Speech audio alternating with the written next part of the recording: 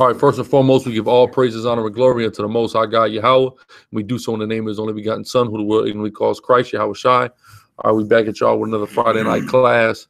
Uh, tonight we got another uh special debate night tonight. Uh, what's the topic? Who we let us know who we're gonna be debating and what the topic's gonna be tonight, Deacon. Uh, my main man, uh, good brother Naquam, Naquam, uh, Naquam Bunya Sharala. The brother, the brother, I'm gonna let him come on and uh, he should be entering the room pretty soon. Brother out the Midwest, I believe, Kansas City. Uh, been doing some dialogue with with him for some time now, so we thought we'd come and reason with the scriptures and uh hash hash it all out. Yeah, uh, just so y'all know, or everybody, make sure when y'all come into the chat, give us some feedback on how we sounded. Let us know we sounded good. Our audio is right. We trying something different today, so just let us know the audio is right in the chat. Somebody check the chat and make sure we getting good feedback as far as the audio and the spirit. Uh, in the meantime, the brother Naquam just hopped on. Shalom, Naquam, uh, Naquam, Naquam, right? Shalom, Naquam. Can we hear him? Salaki, you talking about? We can't hear you. We can't hear you. Now he's muted.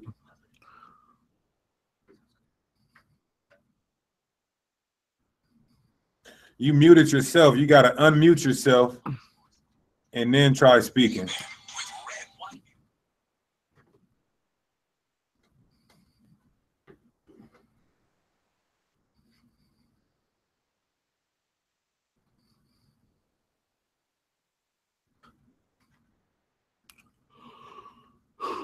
How do, how, how do you unmute it?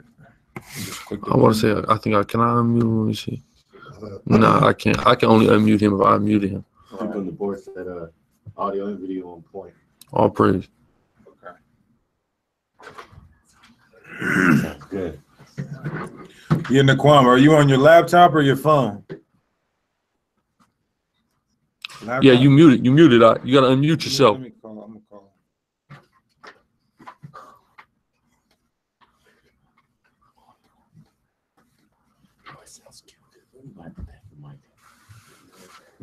Mm-hmm. For real. Wait. Yeah, somehow you muted your you muted it. What does he do to unmute it? All you gotta do is go go right here to the top microphone. It'll be. It'll it'll highlight in red. Yeah, yeah. Go up to the top. You'll see So a look, microphone. it's just got wider. Yeah, you should see a microphone symbol. Once you put your cursor up there, the different icons will pop up.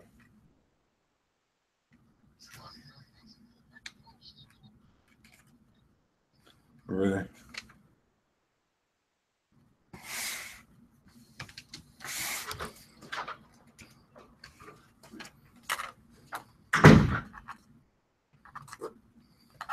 Yeah, it should have the, the contact symbol, the mic Microphone, symbol, the camera.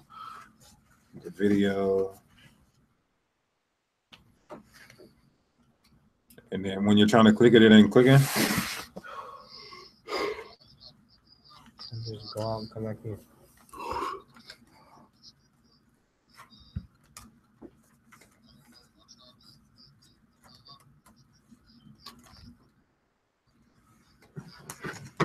Okay, then that's what you want to do. Right, so yeah, if that don't if that don't work, then yeah, I was gonna say log off and log back in. Yeah, until you get, get come back in. That might work for you. You click out and come back in. Uh, click out of it, click out of it, and then come back in.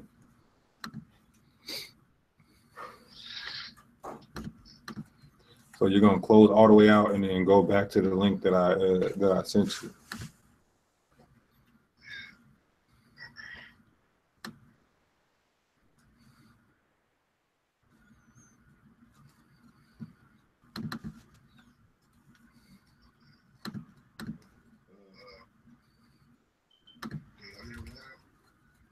No. No, we still can't hear you.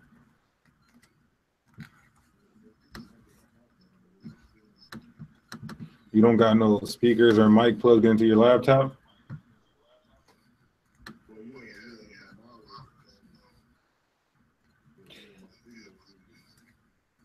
Yeah, you might have to unplug those. Maybe that might be it.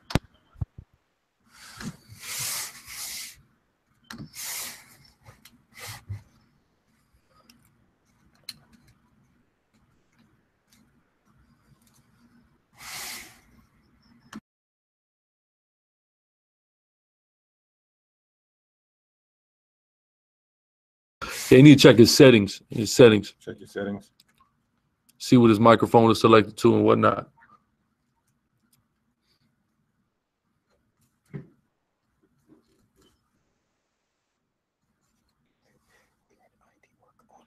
Go to your settings. It's all good. It's all good.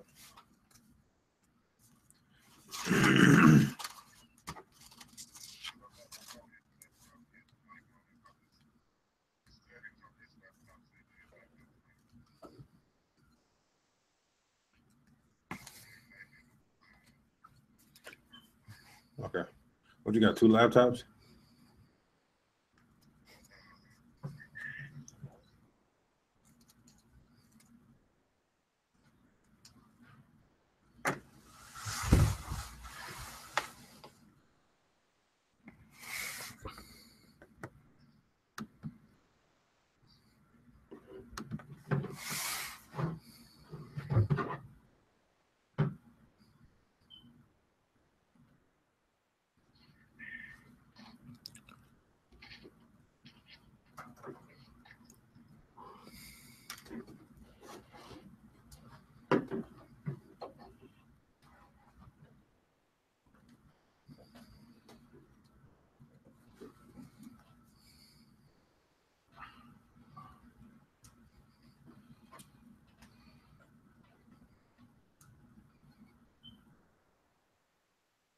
That live?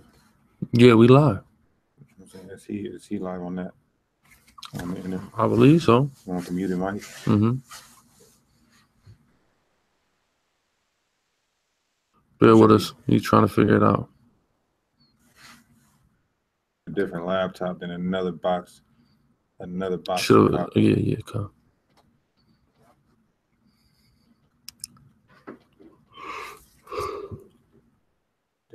There we go. Roll.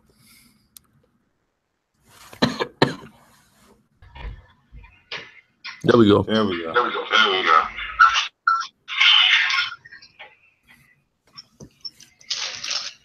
Okay, boost it up. That other that other that other laptop you had had you clear. You said it had me clear. See you though. Okay, yeah, that's that's a better laptop. That's why I wanted to use that one, but oh well. Yeah, it had you powered up. Oh, yeah. All right, so All yeah, right, we're, we're um, gonna go ahead and get started. Um, I'm gonna let you give a brief introduction for and and and and and what you believe as far as what we're gonna talk about tonight. Just a quick, quick and brief synopsis, and then let's go in. Let's go in. All right. Uh, well, basically, I believe that Esau is not the white man. Um, I believe the twelve tribes are Negro, um, scattered throughout the four corners of the earth, and I believe that Babylon is not in America, at least um, specifically Mecca. Okay, with that being said, let's segue right into it. Um, where is I asked you this before? I'm just doing this for the crowd's sake and the brothers in the in the class that wasn't here. Um, where is ancient Babylon? Spoken of in Ezekiel, Isaiah, the prophets and contemporaries of that time. That's in Iraq. In Iraq. Uh, And now you say that Babylon in Revelation is Mecca? Con. Um, how do you how do you draw that conclusion when those are two different geographical locations? Okay, uh, let me let me see. Okay, well, first we gotta understand. Um, we agree that Babylon is a um a spiritual place, also, right? Absolutely. When you when you look at Babylon, um, let me look at my notes. Um, uh, the crescent and the star um, in, in Babylon, that dates out goes all the way back to Nimrod, correct?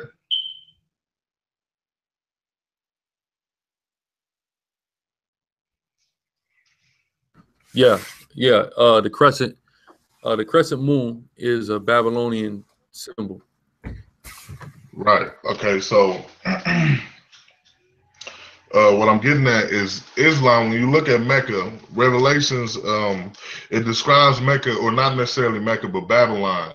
It says that that is gathered to Babylon. Correct. I know in Habakkuk it says that they heapeth unto themselves all nations. Right. Yep. So when you look at uh, Mecca, that's what they do is they heap to themselves all nations every year. You know, the, the Muslims they call it the Hajj. You know, so and and then they they well we know what they do. They circle around the cobblestone, they bow down, kiss it, and and all of that. So what I'm getting, or well, go ahead. Oh, go ahead. Go ahead. I want you to finish your point. Okay, no, I, I was just gonna uh as far as that crescent moon and the star, we know that all um six empires dealt with that, right? The Egyptians, the Assyrians, Babylonians, Persians, the um Greeks, and the Romans.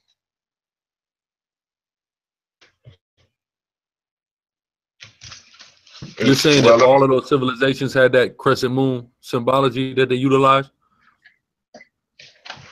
Okay, well, let me get Acts uh, chapter seven, um, verse forty-three, because a lot of a lot of Israelites use this scripture to say that the um, that shield of David, that's what this scripture is talking about. Um, but right here in Acts seven forty-three, it says, uh, "The tabernacle of Moloch, the star of your god Remphan." Figures which he made to worship them, and I will carry you away into Babylon.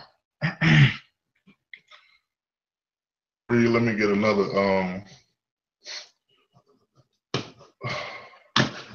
hold on one second. Hold on. What what, what did y'all say? Uh, it says what what is it? 42? 43. 43. It says carried you away beyond Babylon, not to Babylon.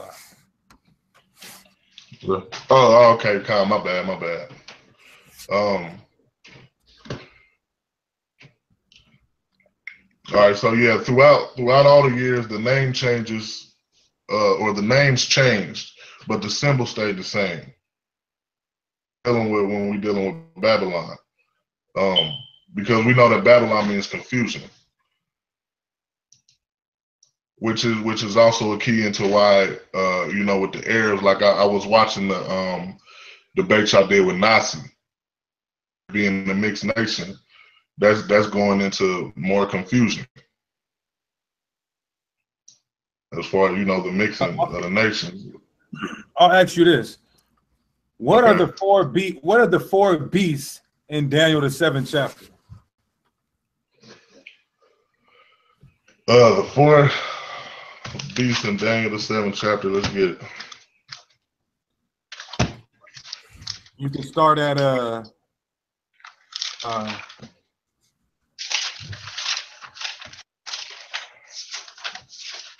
verse three.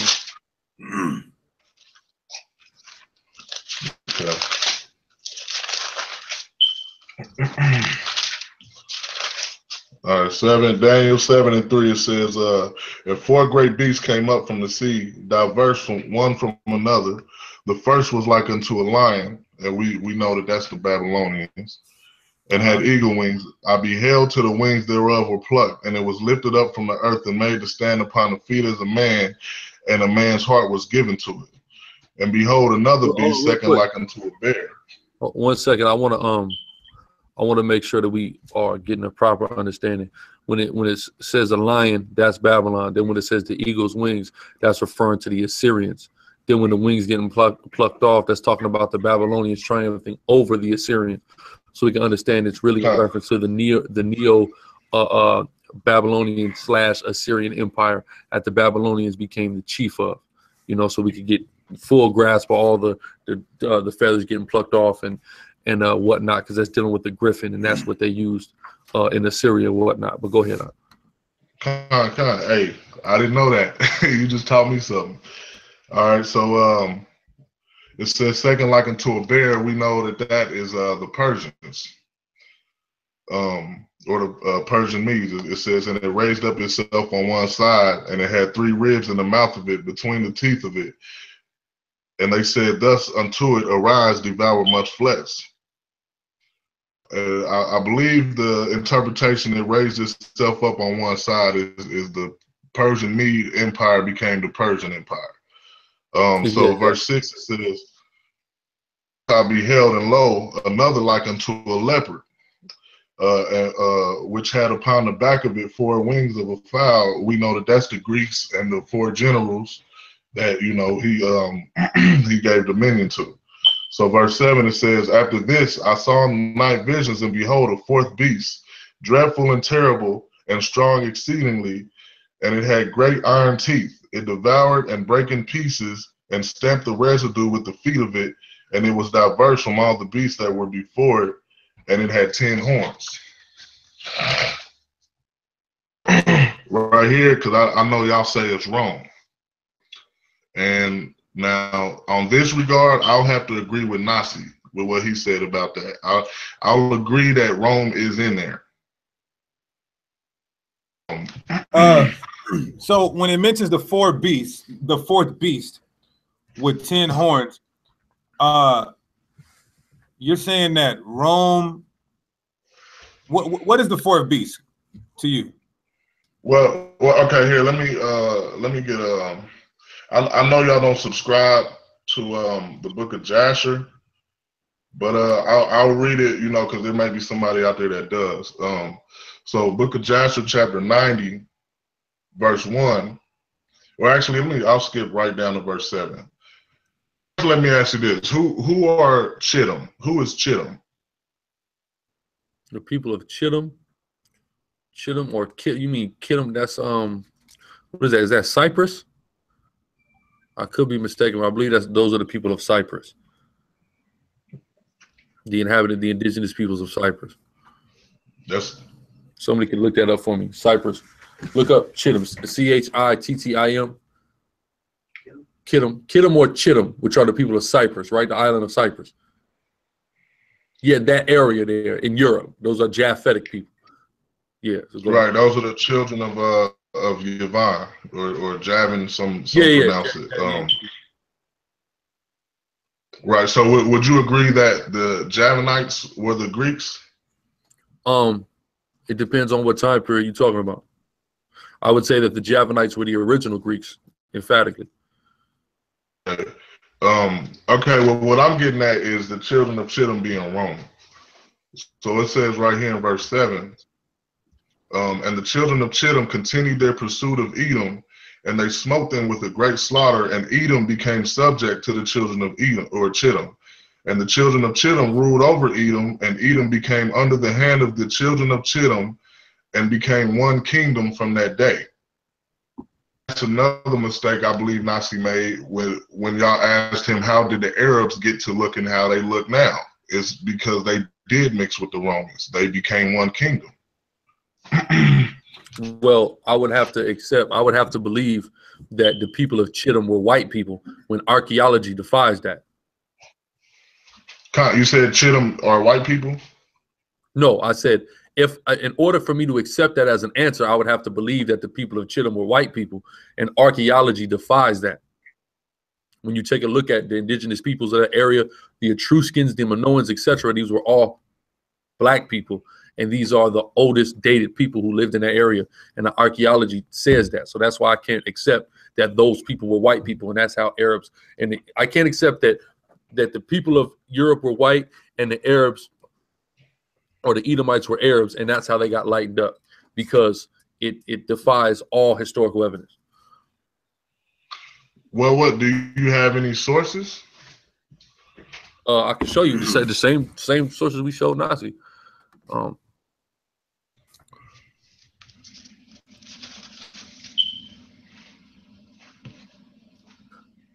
Go.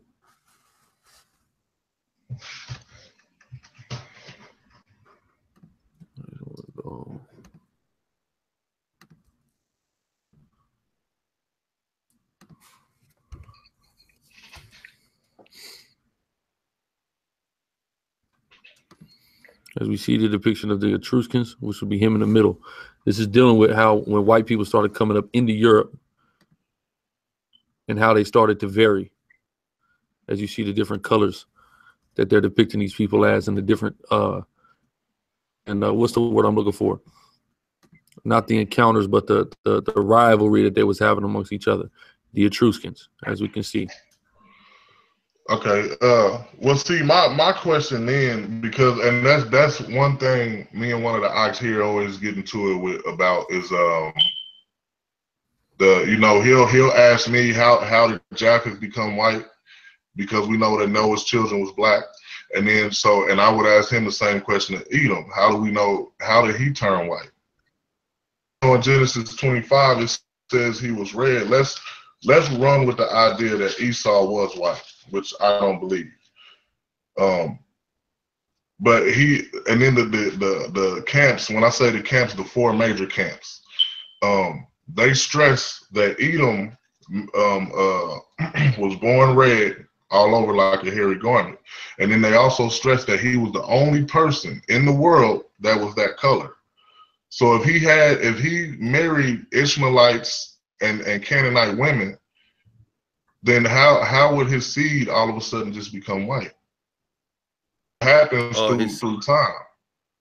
Uh, Is- it's very it's very simple. It's something called albinism. If you understand albinism, albinism can have a generational plague on people. I've seen generations of families who are all albino. It's not far fetched. It's a pretty regular occurrence. Mm.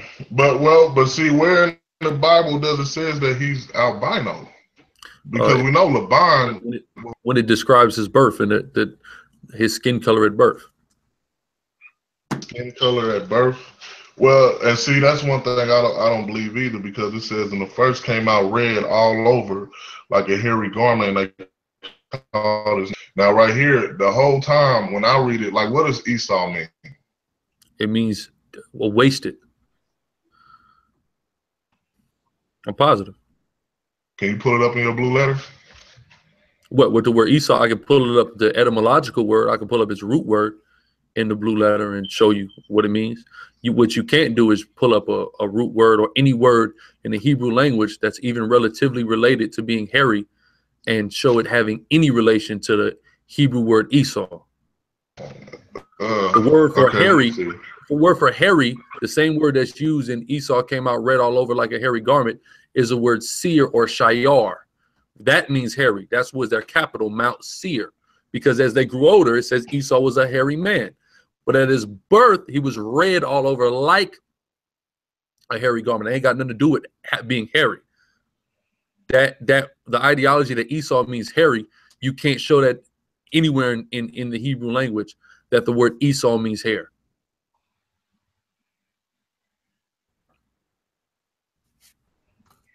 Um. Well, see, okay, let me see. Right here, I don't, I don't know if y'all can see it. Um, and then I'll, I'll go into the see it, but it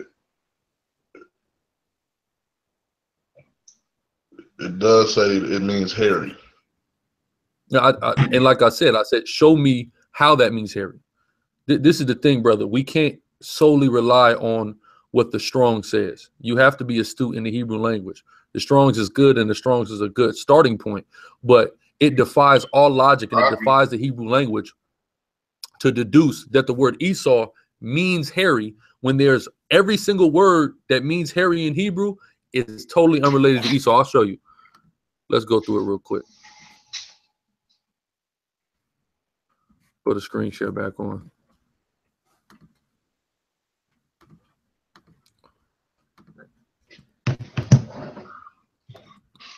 All right. So let's take a look at the word here. The word here, I'm going to take a look at it in Hebrew. Right?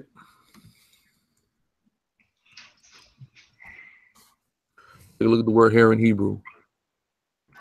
And as we're going to see, so we have all these words. Let's see if any of them are relatively related to the word Esau. Um, we have uh, Dala'ah, Sha, Marat, Nazar, uh, Shaiba, Shayar, Shayar, Shayar, Shayara.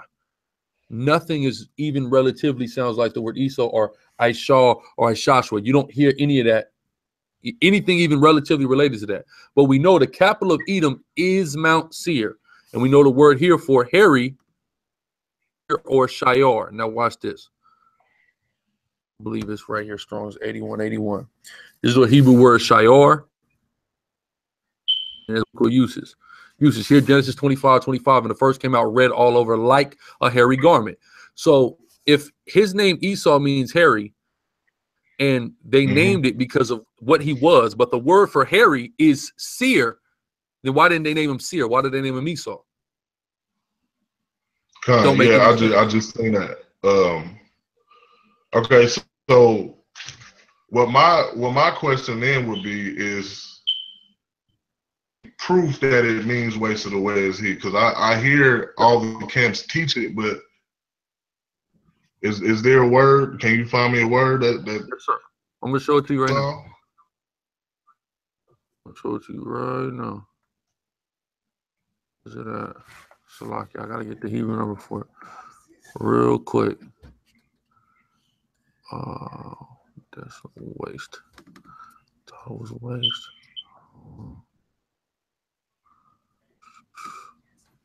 Give me one second.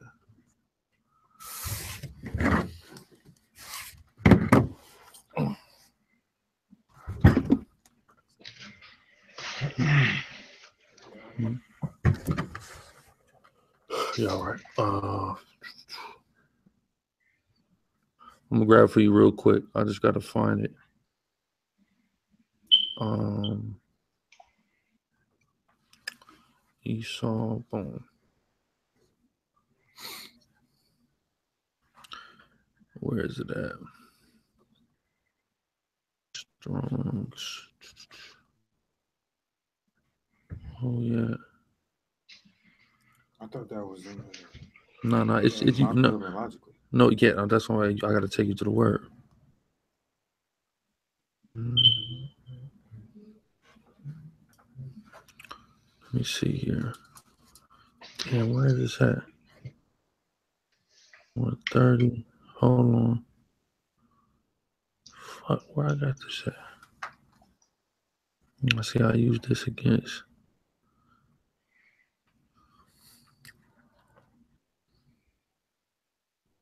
Hmm. One second. Let me see. Hmm. right here, Salakia. What Strong's is it? I believe it's it's this one. This is the I in front of this one. Let me pull up Esau.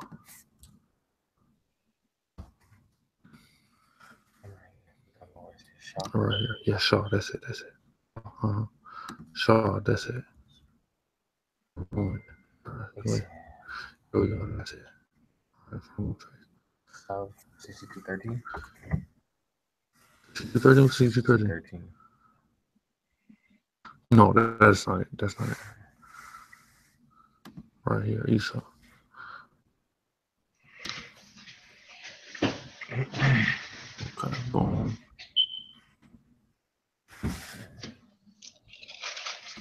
So it comes from this word. Esau come from this word. I saw, as it as it is in the Hebrew, I shaw, as it is here, sha'ah. This is the root word. Okay. That's dealing with desolation, to crash, or to be wasted. That's what this is about. So it's really prophetic. Like if you go, if you take a look at Genesis, what is that, 36? When it starts naming all the descendants of Esau, every descendant of Esau has a name associated with destruction. Let me let me read this. Go ahead. Jeremiah 49 and 10. But I have made Esau bare. I uncovered his secret places, and he shall not be able to hide himself. His seed is spoiled, and his brethren, and his neighbors, and he is not, meaning he's wasted. I mean, he is wasted. So just letting you know that right there.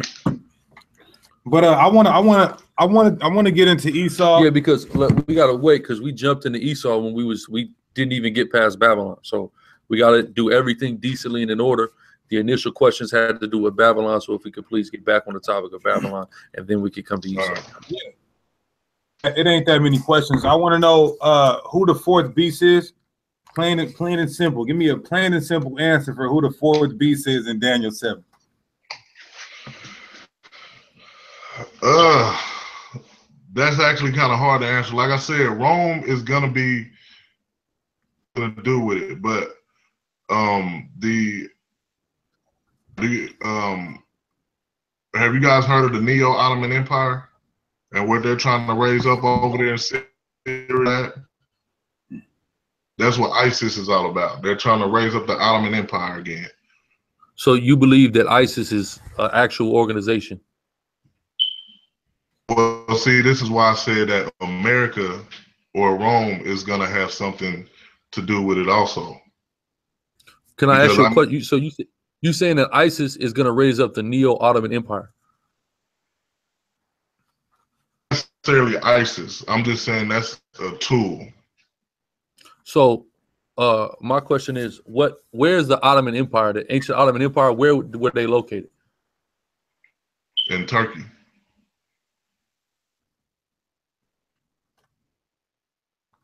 You heard me? which is where uh when when Rome fell, that's Oh, where where the capital of Rome, huh?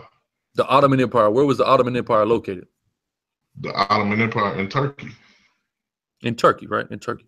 So ISIS means the Islamic State of Iran and Syria. So I want to understand how the Islamic State of Iran and Syria is trying to reestablish uh, uh, empire that didn't have anything to do with them and is based somewhere else that is not a place that's in their interest according to their name. Okay. Uh ask the beginning one more time. Basically, the ISIS, their name means the Islamic State of Iran and Syria, right? So if if the Ottoman Empire, if the Neo Ottoman Empire is being raised up out of Turkey, I just want to understand what interest the uh, Iranians and Syrians have in establishing an empire out of Europe. Okay. Um let me ask you this and then I'm gonna pull a scripture. Um Syria, Syria or any of that land over there, what which which empire during the time of uh when when when we was over there? You said what? When we was over there, the Roman Empire. In Syria? Okay. Well, I um, mean, we, we've in Syria for uh, us going to Syria has been since the Babylonian Empire. So right. Right. That's that's what I was every empire is ruled since we've been over there. Right. So right here in Revelations uh chapter 13 verse 1 it says and I stood upon the sand of the sea and saw beasts rise up out of the sea having seven heads and ten horns and upon his horns ten crowns and upon his heads the name of blasphemy. And the beast which I saw was like unto a leopard and his feet were as the feet of a bear and his mouth as the mouth of a lion and the dragon gave him his power and his seat and great authority. So, like right there, when it says, uh, and the beast which I saw was like unto a leopard, his feet was like a bear. This empire is gonna encompass all of those lands that those previous empires ruled over. Wait, So let me ask you this: The Beast in Revelation has not even came to fruition yet? That the beast in Revelations. Uh, well, let me see. Uh, let me find the verse. Uh, uh, verse five. It says, "And there was given unto him a mouth speaking great things and blasphemies, and power was given unto him to continue forty and two months." That's three and a half years. So no, it hasn't came to pass because this. Okay, thing- so I'm gonna read. I'm gonna read you. I'm gonna read a scripture real quick. Revelation chapter 17. I'm gonna start at verse 8. Listen up. The beast that thou sawest was and is not, and shall ascend out of the bottomless pit. So Mhm. John is saying that this beast has existed, this beast is existing, and this beast will exist. Meaning it pre-existed him. Right. Right. Well, kind okay, kind okay. I didn't understand the questions. My bad. Um. So, all right. So it says the beast that thou sawest was and is not out of the bottomless pit. Well, and that's going into what I was saying before about the Ottoman Empire, and then they uh, But they the Ottoman. Empire does not pre-exist John the Revelator. You said what? The Ottoman Empire does not pre-exist John the Revelator, who at the time when he gave the prophecy said this beast was, meaning it pre-exists him. Okay, kind, kind. All right, I gotta admit. Let's go deeper. Let's go deeper. What are the seven? What are the seven heads? Uh, the seven heads. Uh, let me hold on. Let me see because I got my notes on that one. Um,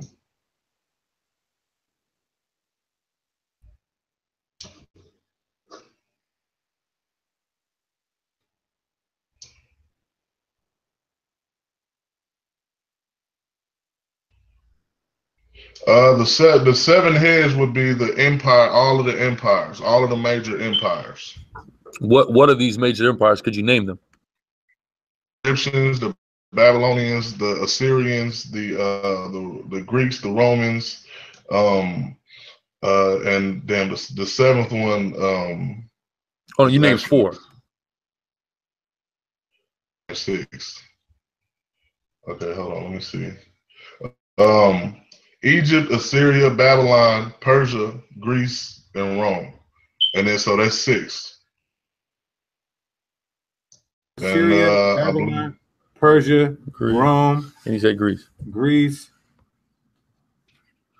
And what would what, what, what would be the seventh one? The seventh one, um, I see. That's what I'm trying to find exactly where it's at in my notes. Um, oh, damn. Okay, let me see.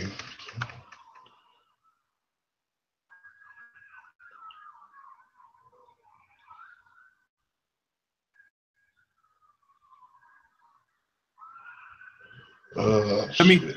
Let me. Uh, do you think you can get the seventh one? You can take you can take your time because I was going to read the scripture after you find that. Okay, yeah, that's um, damn. Uh, Yeah, I'm looking through. You remember all that shit I sent you in your inbox? On bad, yeah, that's what Well, that's what I'm looking through. Yeah, no, it's all good. So you said Egypt, Assyria, Babylon, Persia, Greece, Rome, and then there's one more. Uh, hold on, let me see. Okay, that's what it was. All right, seven heads of Egypt, Assyria, Babylon, Persia, Greece, Rome, and the seventh is the Ottoman The Ottoman Turks, Ottoman Empire. Ottoman Empire. Okay, so uh, I want to read. I want to read uh, verse ten, Revelation seventeen and ten. It says, "And there are seven kings, the seven that you, the seven that let's just take the seven that you name. Five are fallen. Which which one of these five have fallen in John's time?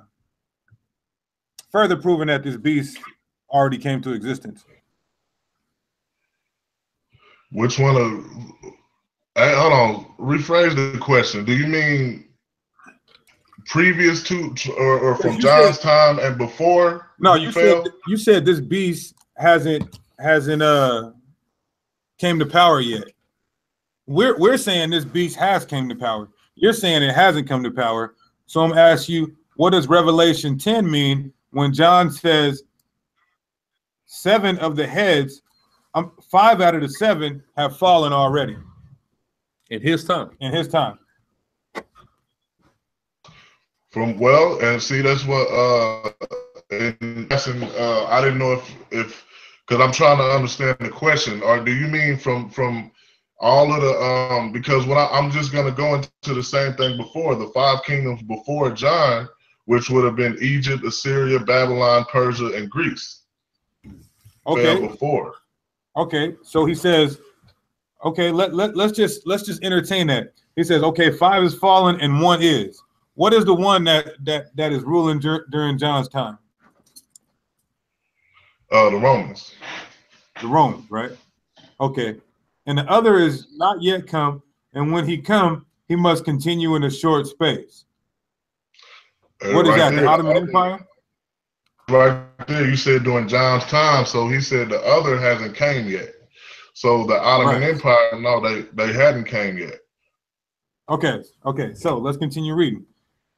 It, it, it will continue in a short space, and the beast that was and is not, even he is the eighth, and is of the seven, and goeth into perdition. So Tom, you what- need an eighth. You need a, you what- need an. What, what verse are you at? At I'm at uh, I'm at eleven. eleven. Okay. Then it's not- So you're saying the Ottoman Empire, real quick, answer this firm, frank, and forward. The Ottoman Empire is the last empire to rule, correct? Yes.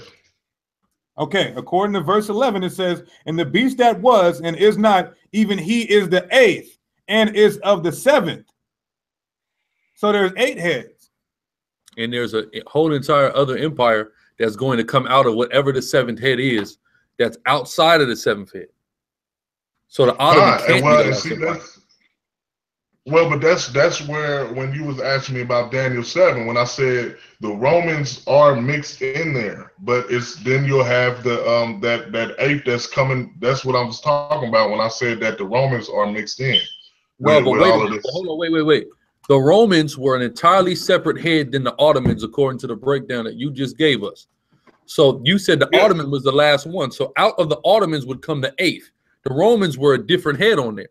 So that don't work. Yeah, you gave me seven. Let me let me rephrase it. You gave me seven heads. It says seven heads and ten horns. You gave me seven heads. Egypt, Assyria, Babylon, Persia, Greece, Rome, and the Ottoman Empire. You said the Ottoman Empire, the se- your your seventh head will be the last empire to rule. Verse 11 says there's going to be another empire that springs out of the seven, which will be a complete eight heads. Okay, con. All right. Well, I'm. Uh, I had to admit I made a mistake there. Then um, the Ottoman Empire. Um, Ottoman Empire is the one that's coming out of the seven. So what is the seventh and what is this replacement head that we're not that we're missing here? The the um seventh would be Rome. Okay. So what is this other head that's missing out of off of the beast? What do you mean? What other head? I mean, if if if the Ottomans are the eighth and the Romans are the seventh, there is now a missing head. We only get we got Egypt, Assyria, Babylon, Persia, Greece, Rome, and the Ottomans. There's one more kingdom here because there's an eighth. So where is this? If Mm. we understand that the seventh is Rome and the eighth is the Ottomans, there's still a missing head here that needs to be accounted for. Okay. Uh, let me see.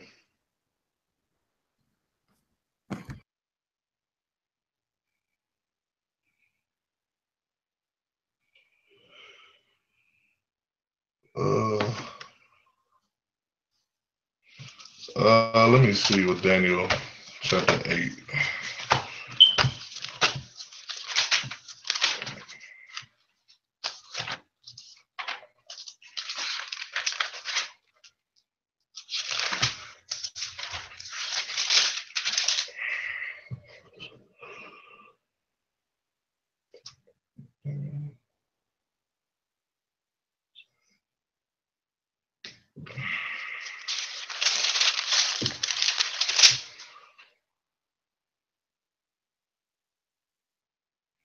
right. Um,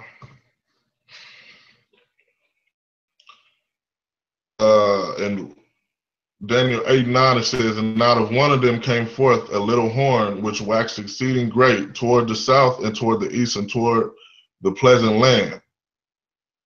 And the little uh, horn is the Ottoman Empire that's coming out. Okay, again, that's not the question we're asking you. We're asking you the question of who is this missing empire, this missing head? That's Yeah. what we're asking you. There's eight. There's eight heads. Right. Well, see, and okay, uh, right now I probably won't be able to have an answer because and see what it is is this breakdown needs to be broken all the way down because, like I said, I don't know if you've seen what I've seen them, but that's that's you know, and I'm kind of you know getting um uh, thrown questions that you know that's not not nothing against y'all, but it's just that you know I, I have my breakdown in the order, so and that's why I'm having to go everywhere when I when I look at this thing. So and that's why I'm not able to answer certain questions.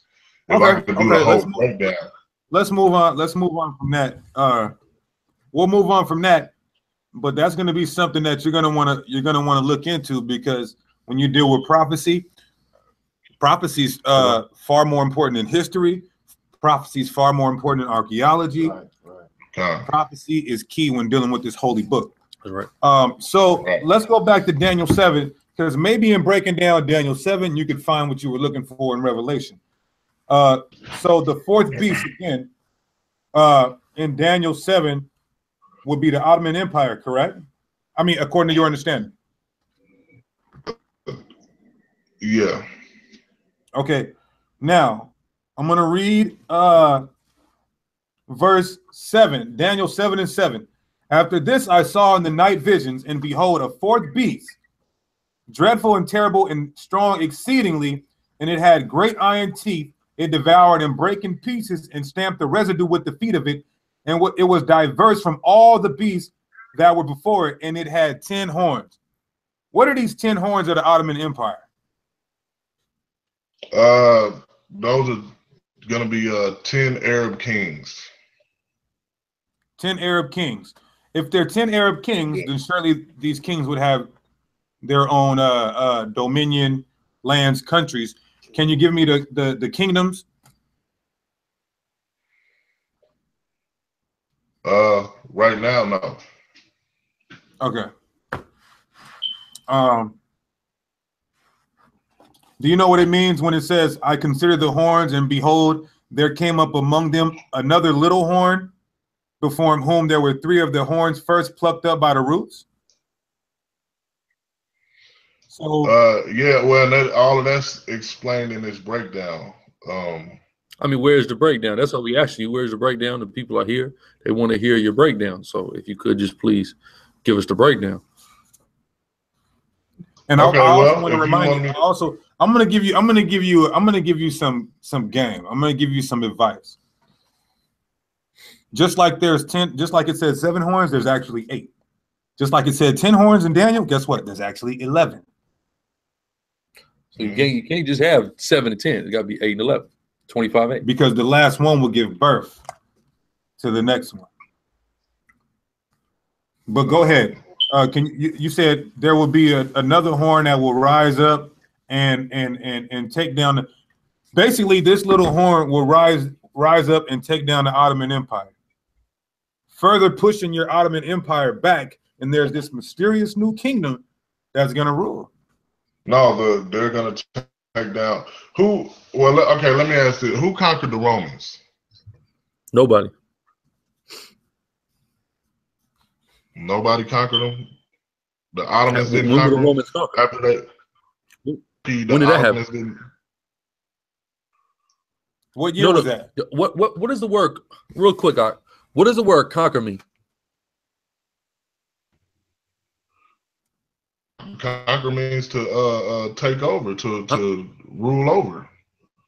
The the the well, when did the Ottomans rule over the Romans? When did they rule over? Uh, Yeah. well, I can't I can't give an answer to that.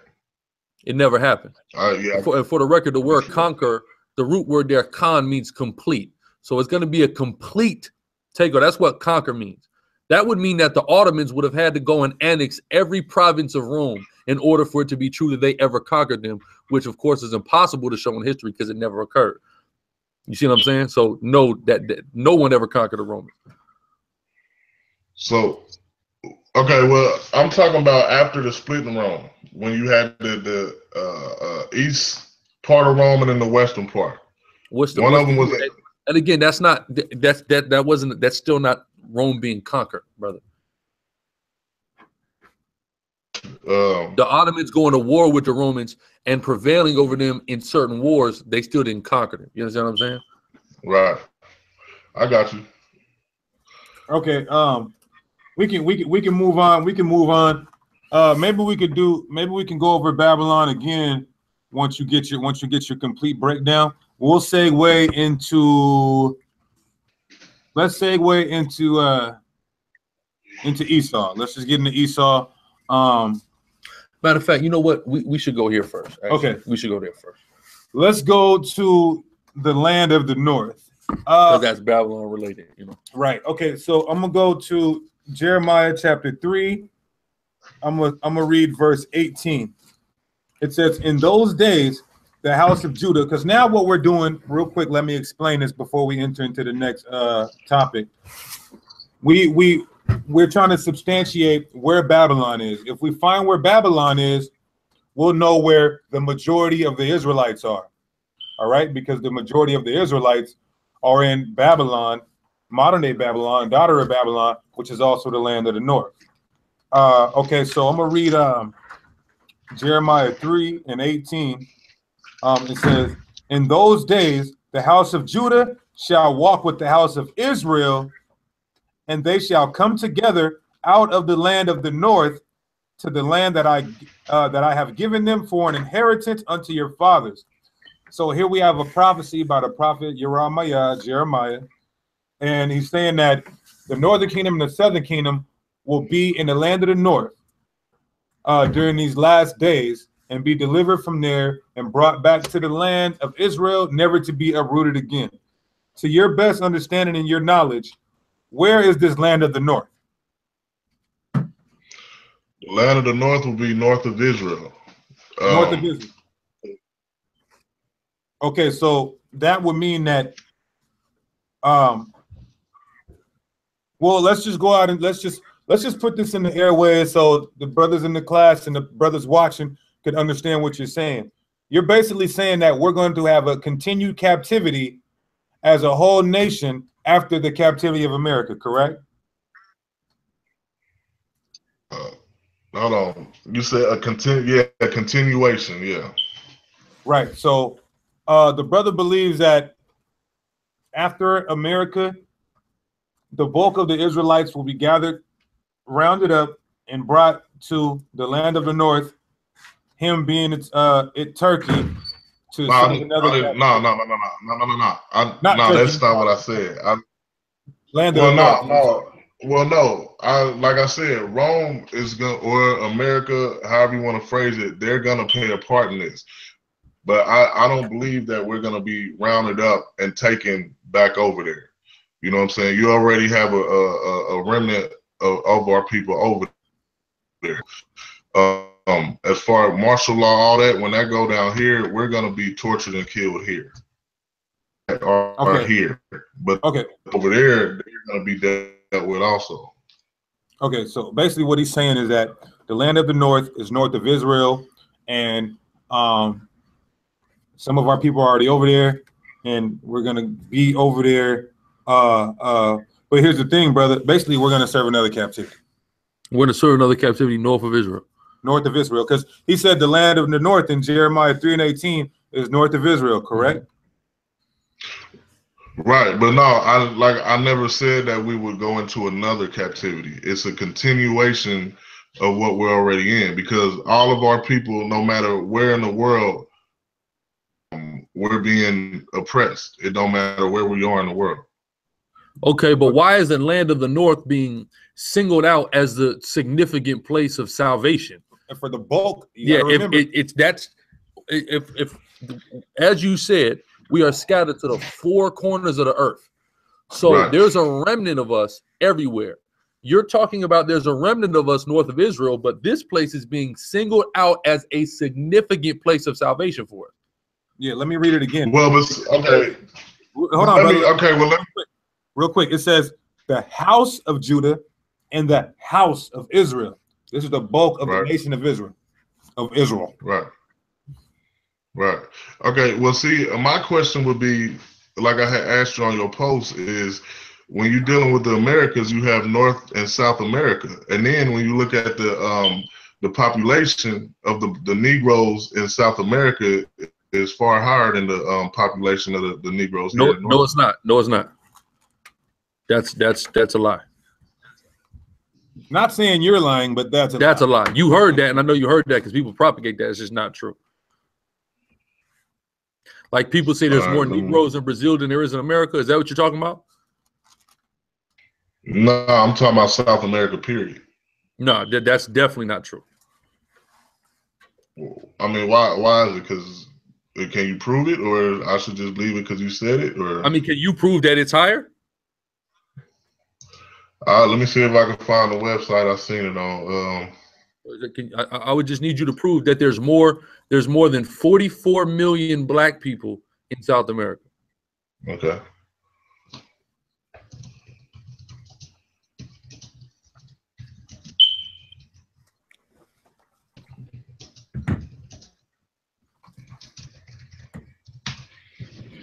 Sense of sense in Israel too.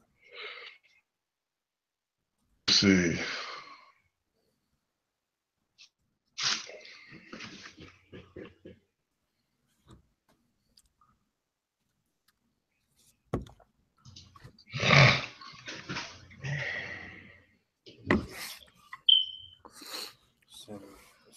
Okay. Uh, and said what was the number I would have to beat? 44 million. 44 million. Uh, okay. Brazil alone, just by itself, uh, has 14.5 million. Um, uh, Mexico, 1 million, uh, 1.3 million. Peru, 1.2. Uh, Cuba, 1.2. Venezuela, 1. Point, um, 1.0. Uh, Dominican Republic is Yeah. And that's not even all the countries. The i- the islands not like- South America, for the record. Well, I'm well, I'm well, okay, I did say South America, but I'm actually speaking about the Americas as you know. I mean, that's the islands are. North anything America. that's not North America. the islands are North America still.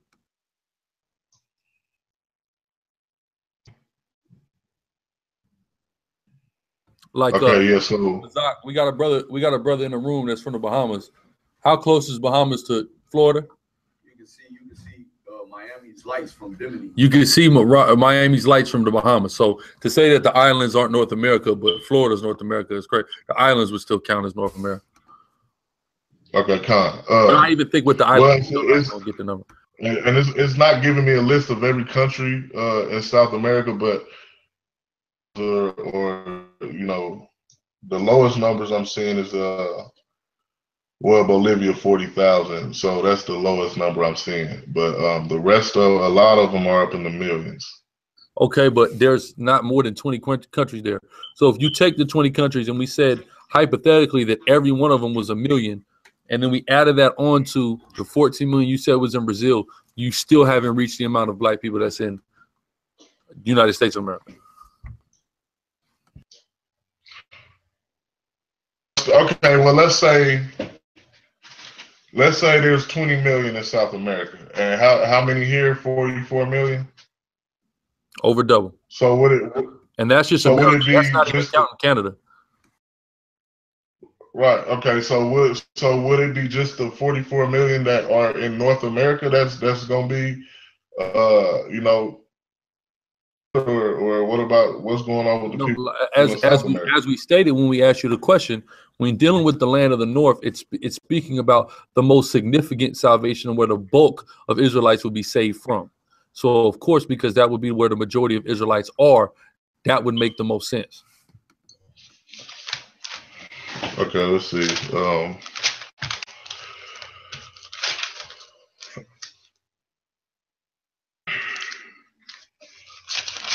right here in Isaiah 11, uh, verse 11, it? says, uh, And it shall come to pass in that day that the Lord shall set his hand again the second time to recover the remnant of his people, which shall be left from Assyria and from Egypt and from Pathros and from Cush and from Elam and from Shinar and from Hamath and from the islands of the sea.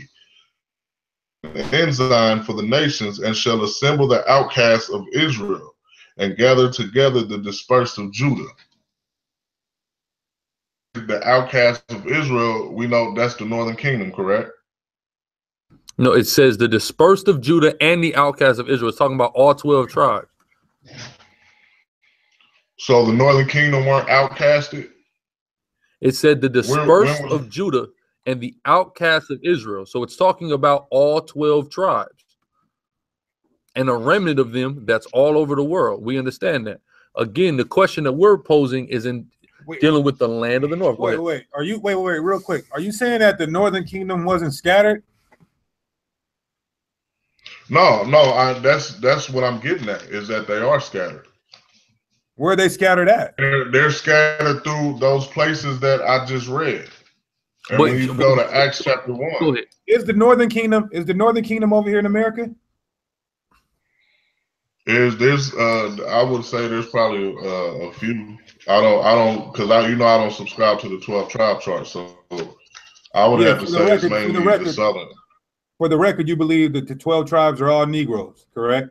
Right, right. Okay, so so I'm asking you, have the Northern Kingdom been scattered through the four corners of the earth? Uh, well, I just read what it said. Um, but let's go to Acts chapter one. Uh, matter of fact, I don't have my apocrypha with me. Uh, it's in the other room. But when you go to Second Ezra, because I, I know y'all subscribe to Ezra's being America, correct? Yes, sir. Okay. Oh, let's see, what is it, verse 40? Um, it says, Those are the ten tribes which were carried away Hold on, prisoners hold on. out of their Ah, ah, own ah, ah. land. Uh, that's not the question. You have to deal with the questions that we're asking. We ask you, is the northern kingdom scattered? Through the four corners of the earth. Well, and that's what I was about. That's what I'm going into. Yes, they they are scattered. All, all you had to do is say yes. Okay, that's fine. That's fine. We don't disagree with you. Okay. Go ahead. Okay. Um. So so before you before you hit Second Ezra, uh, thirteen, um, I want to get back on the land of the north so we can move on from that and get in get into uh, uh ahead. something else. Um. So you said the land of the north is um is north of Israel, correct? How north of Israel? Like what place was this? Is this immediately north of Israel or what? I mean, it, it could be. Uh, I I would say Turkey and and upwards of that. But yeah, it can be immediately north, or but I would say Turkey upwards of that. Okay. Because I remember when we were on the phone, you said Turkey uh and going up into Europe, correct? Right. So if we read the Bible, that- if we read the Bible and it says the land of the north is Babylon, what do we deduce from uh, Jeremiah 3 and 18?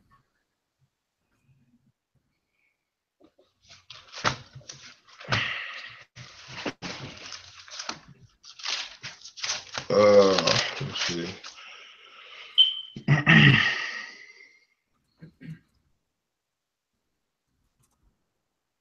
well, I I would have to stick with what I said that they are going to walk like like the scripture says. They're coming out of the land of the north, which would be Turkey, Europe, or you know, But again, if the Bible says the land of the north is Babylon, then what? Because according to you, Babylon is Mecca. Mecca is south of Israel, far, deep, far south from Turkey. So, I mean, I, I, I'm just trying to make sense of what your understanding of the land of the north and Babylon is.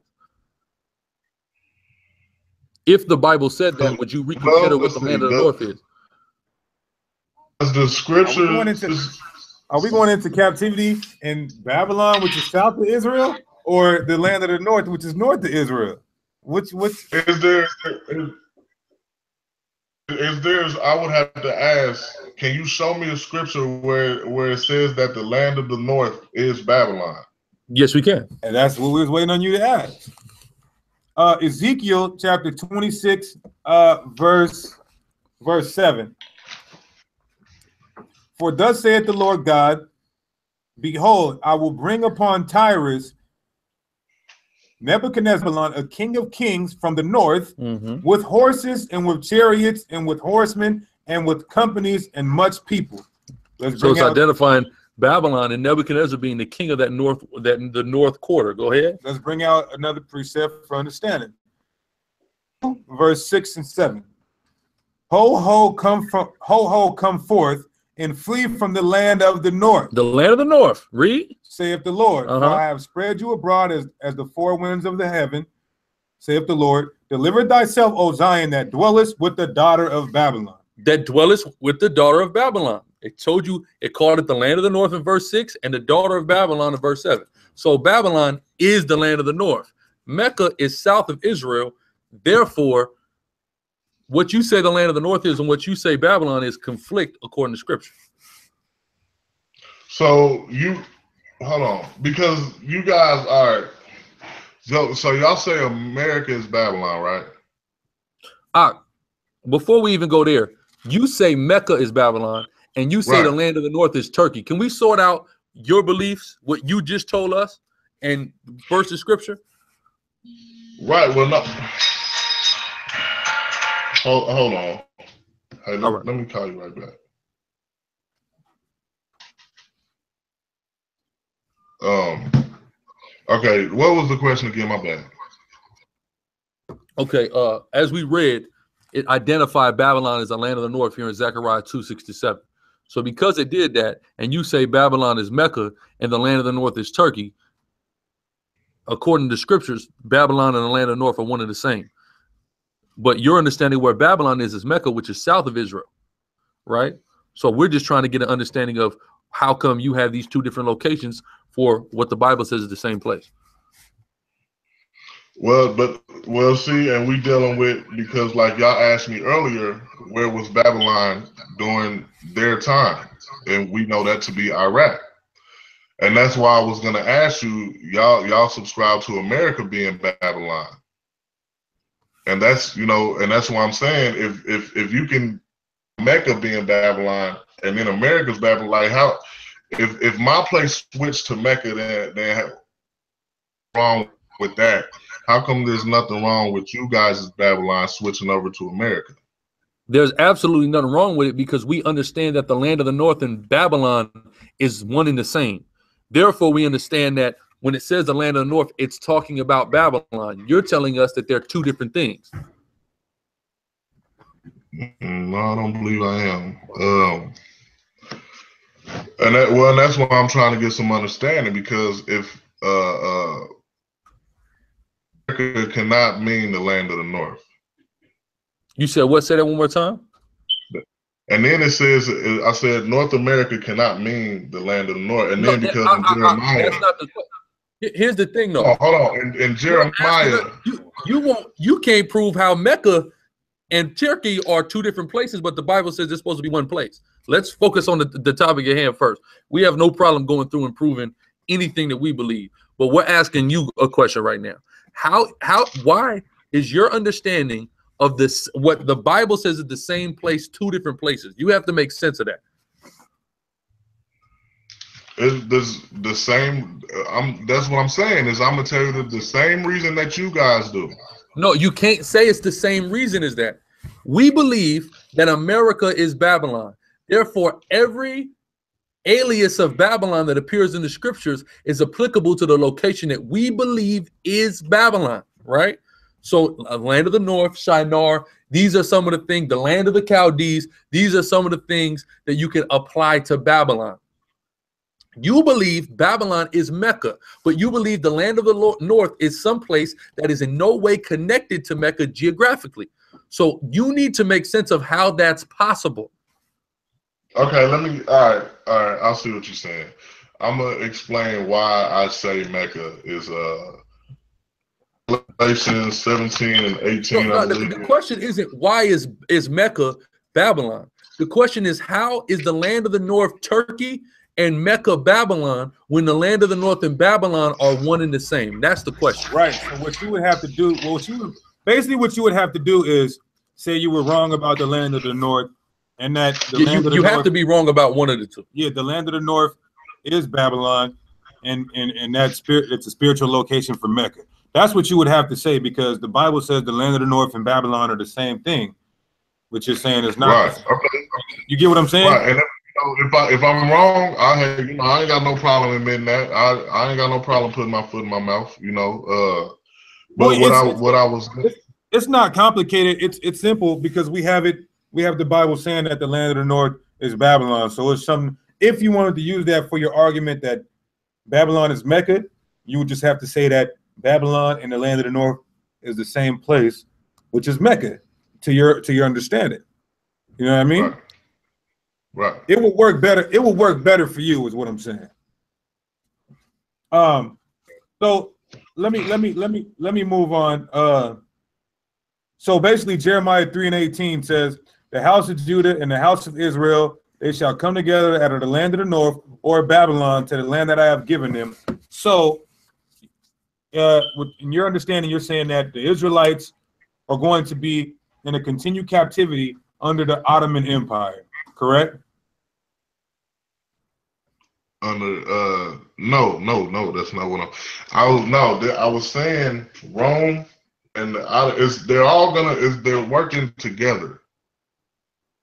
Like I don't know if y'all remember when Nasi was saying that America is the puppet. The Saudi Arabians are running, you know. So that's what I'm. That's what I'm saying. Okay, okay. No matter how it happens, it's going to happen to your understanding that we're going to end up, our people, the bulk of them, are going to end up under Ottoman Empire captivity in the future. No matter who's helping America, Rome, ISIL, whoever. Yeah, if yeah, Will Rock. Yeah, if you want to word it like that, yeah. Okay, okay, okay. So where's Satan's seat at? Let's get into Satan's seat. I know this is one of your Um, favorite scriptures. Uh, Revelations chapter two. Uh, what verse is that? Um,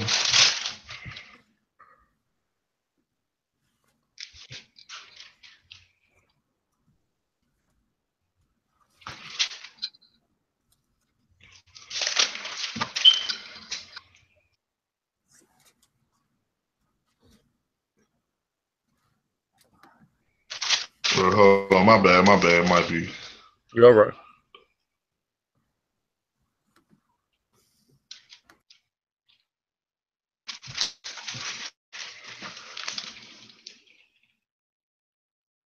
All right, uh, my bad. Uh, Revelations 2, verse uh, 13. It says, I know thy works and where thou dwellest, even where Satan's seat is, and thou holy, holdest fast my name and hast not denied my faith, even in those days wherein Antipas was uh, my faithful martyr, who was slain among you where Satan dwelleth.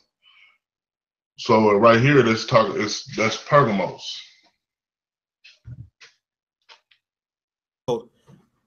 if Satan's seat, you're saying Satan's seat is Turkey, right? How does this prove? How does this prove Babylon is Mecca? That's uh Satan see okay, let me um well for one is he's writing to Pergamos. Is from my research, Pergamos is Istanbul, Turkey. Yes, sir. All right, so um and there's a deeper under, and that's why I said I would have to go through the whole spiel for for any of this to make sense. Um, reason I say okay, let's go to uh, Mecca. When it said Revelation 17 and 18 it says that Mecca is the mother of harlots, and that's what Mecca is. say that Babylon is the mother of harlots. Well, yeah, my bad, my You're bad. right. Correction. You're right. Yeah, so uh, Babylon is the mother of harlots, and this is why I say Mecca is uh, that mother because that's exactly what Mecca means is mother. The um, before Muhammad came along, we know that they was worshiping a god for every day of the year. That's what they want to get back to, because you have you have different sects of Muslims.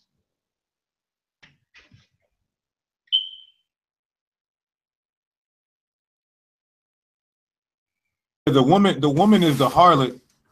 Uh, so you have the you have the beast that you said is the Ottoman Empire. Who is this woman sitting on the beast? the woman that's sitting on the beast, um,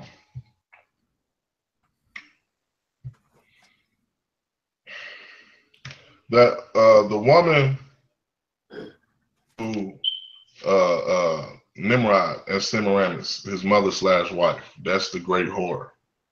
All religions come out of. So how how is that woman controlling the beast? I'm gone.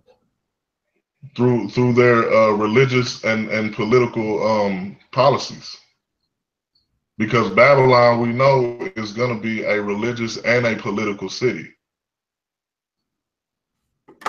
Am I Okay, correct? so so so that's how that that's how Semiramis controls the beast. No, what I'm no, what I'm saying, I'm not talking about literally the woman Semiramis. I'm talking about the uh the the deities and and all of these gods and all of these religions that sprang out of her. But that, I mean, that's the thing, though. It says that there's a woman that's running and controlling this beast. Right. Well, that's that's why I was saying I would have to give the whole breakdown because when you go into that crescent moon and star, that's uh we know that that's dealing with Nimrod and, and Semiramis. Okay, so a woman, a woman is not a place. It's dealing with an ideology, correct? Con.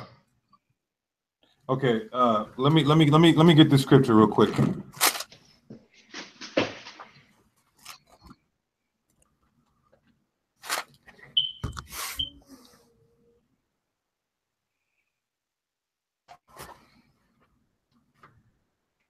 You know what I'm looking for? Even even right there. Let, let, us get this. Even right there, that one. Okay, we let can go that one after that. Okay. Uh, Revelation chapter 16, verse 10. Mhm. And the fifth angel poured out his vial upon the seat, and his kingdom was full of darkness, and they gnawed their uh, tongues and, and teeth. So here we have John the Revelator saying the fifth angel poured out his vial on the seat of the beast.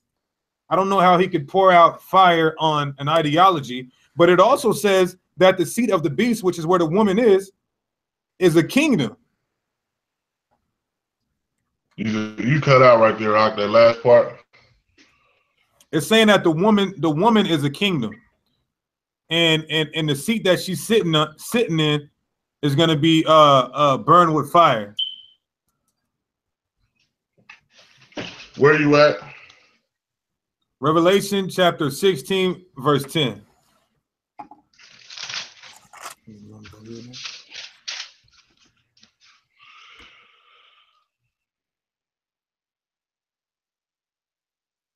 Sixteen and ten, and uh and the fifth angel poured out his vial upon the seat of the beast, and his kingdom was full of darkness, and they gnawed their tongues for pain. That's what you just read. Come, and come. Oh, you saying that's a woman?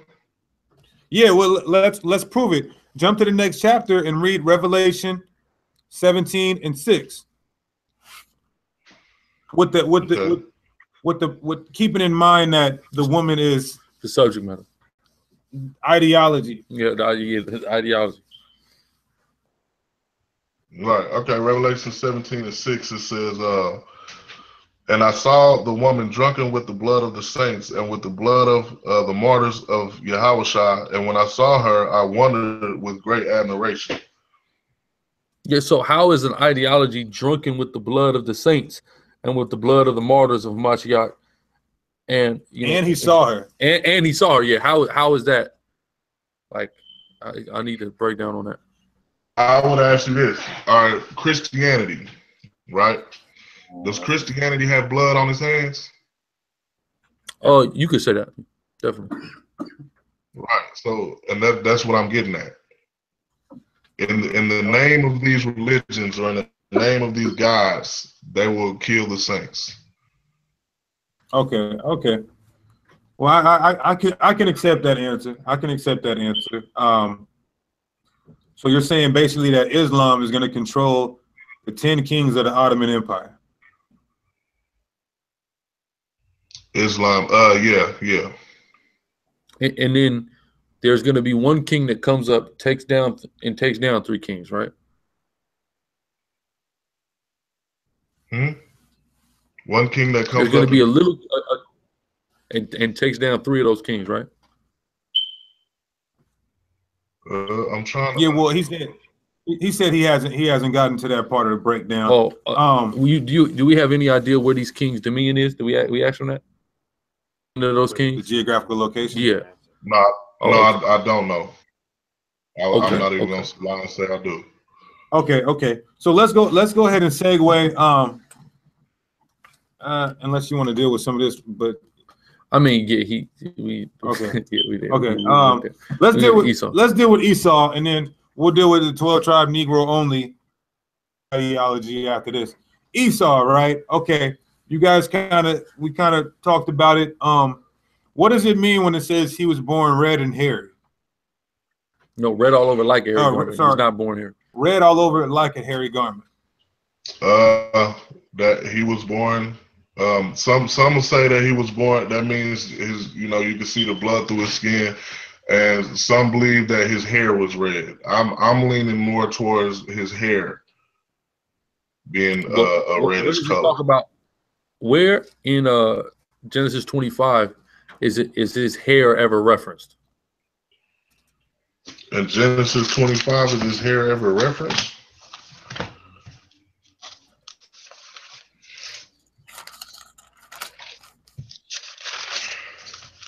Well, and see, well, okay, I know what you're getting at. Um, it says, uh, and the first came out red all over like a hairy garment, and they called his name Esau.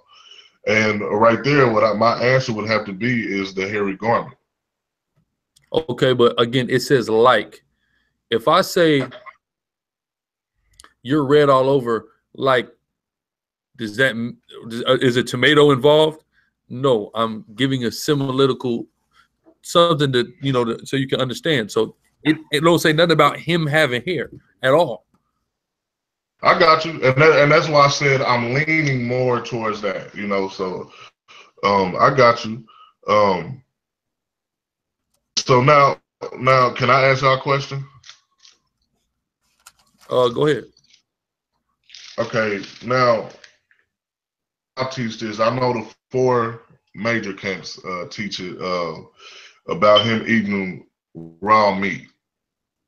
No, we don't teach. We don't teach nothing about him eating raw meat. Okay, okay, kind, kind. They like even, though they do like raw meat, we don't teach about the eating raw meat. we don't teach that he he he was eating raw meat in Genesis. I was gonna say because lentils is right there. All right. Um, Yeah. uh, so let, let's talk about the blessing. Let's talk about the blessing. What is what was Esau's blessing that Jacob gave to him? Uh, Esau's blessing. Um, it says, uh, verse Genesis 27, starting at verse 39. It says, And Isaac his father answered and said unto him, Behold, thy dwelling shall be the fatness of the earth, and the dew of heaven from above, and by thy work and by thy sword shalt thou live, and shalt serve thy brother. And it shall come to pass when thou shalt have the dominion, that thou shalt break his yoke from off thy neck. We know right when it's uh dealing with the fatness that's that's dealing with the the um oil Um, uh, How you gonna say that? How you gonna say that when you watch the Nasi debate? Are you sure you want to deal with? Are you Is sure that- you want to play is that? that your final answer, brother? I know I did hear y'all and y'all and I because I already know what y'all gonna go into with that. So let's just leave that alone. Nasi love. All right. Uh, Um, okay, you know what? Here's the good one. We never, we didn't really go through this. Uh, has Esau? Who who are the Edomites today?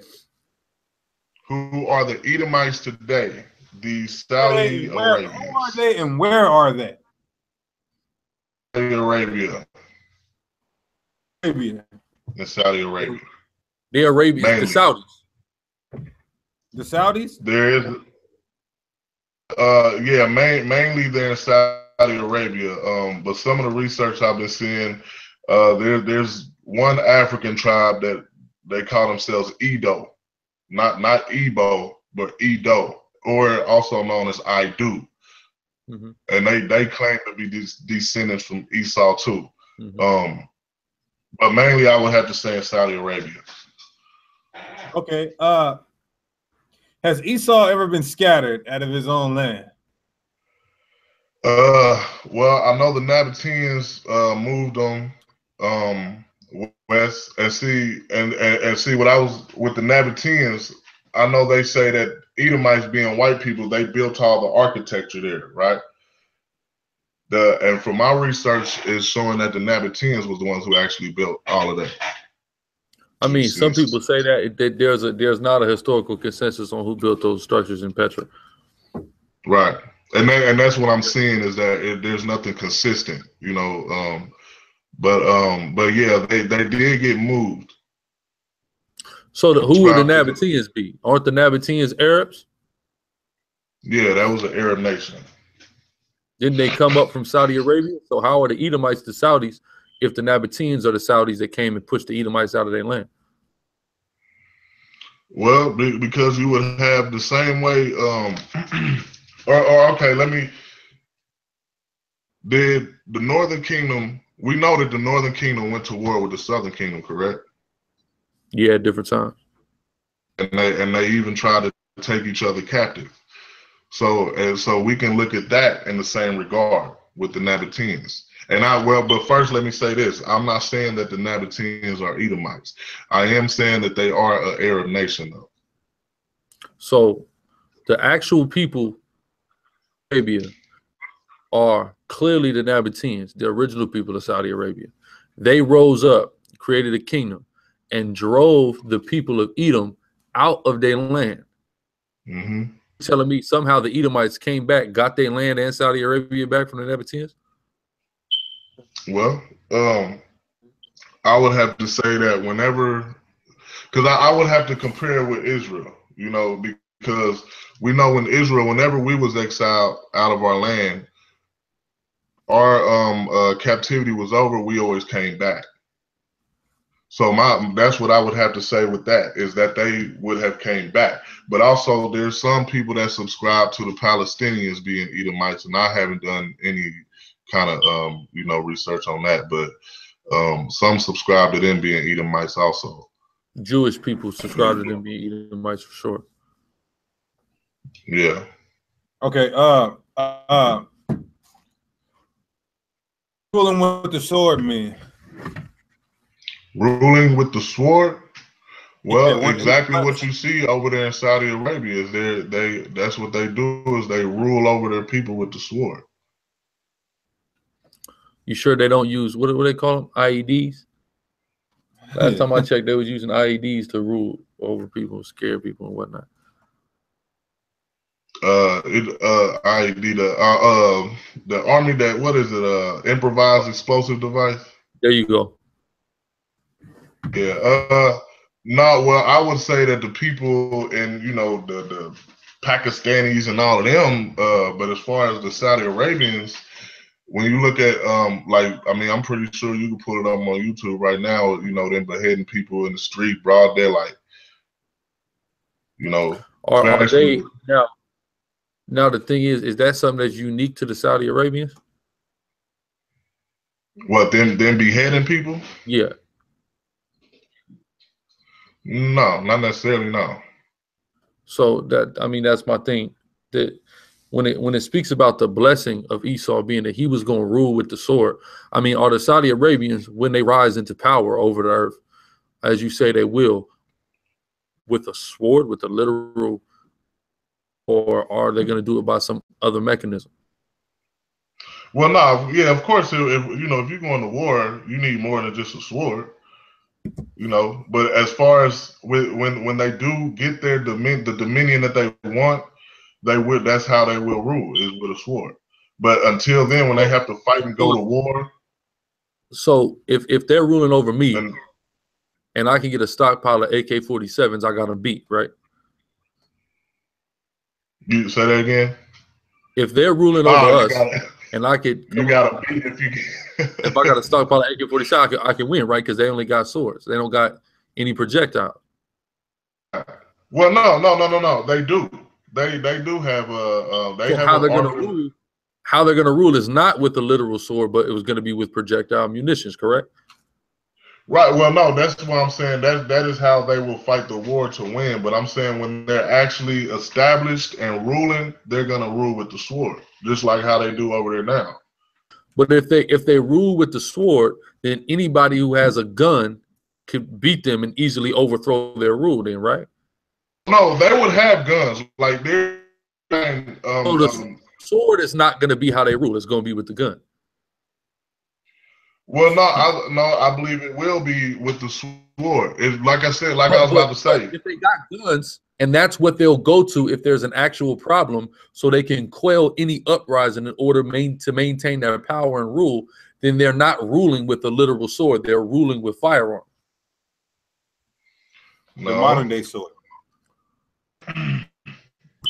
No, they would they would be ruling with the sword. They that's how they deal. They be people. If, if I say if I say I rule, if I say I rule with my hands, but if I can't beat you up, I shoot you, then what does that mean? I'm ruling with a gun. I'm not ruling with my hands. I mean, well, technically in that regard, you would be ruling with your hands because your hand is holding the gun. Well, well, I mean, okay. Uh in, in that in that instance, then they they will be ruling with their hands because you need your hands to shoot a gun the same way you needed to swing a sword. right?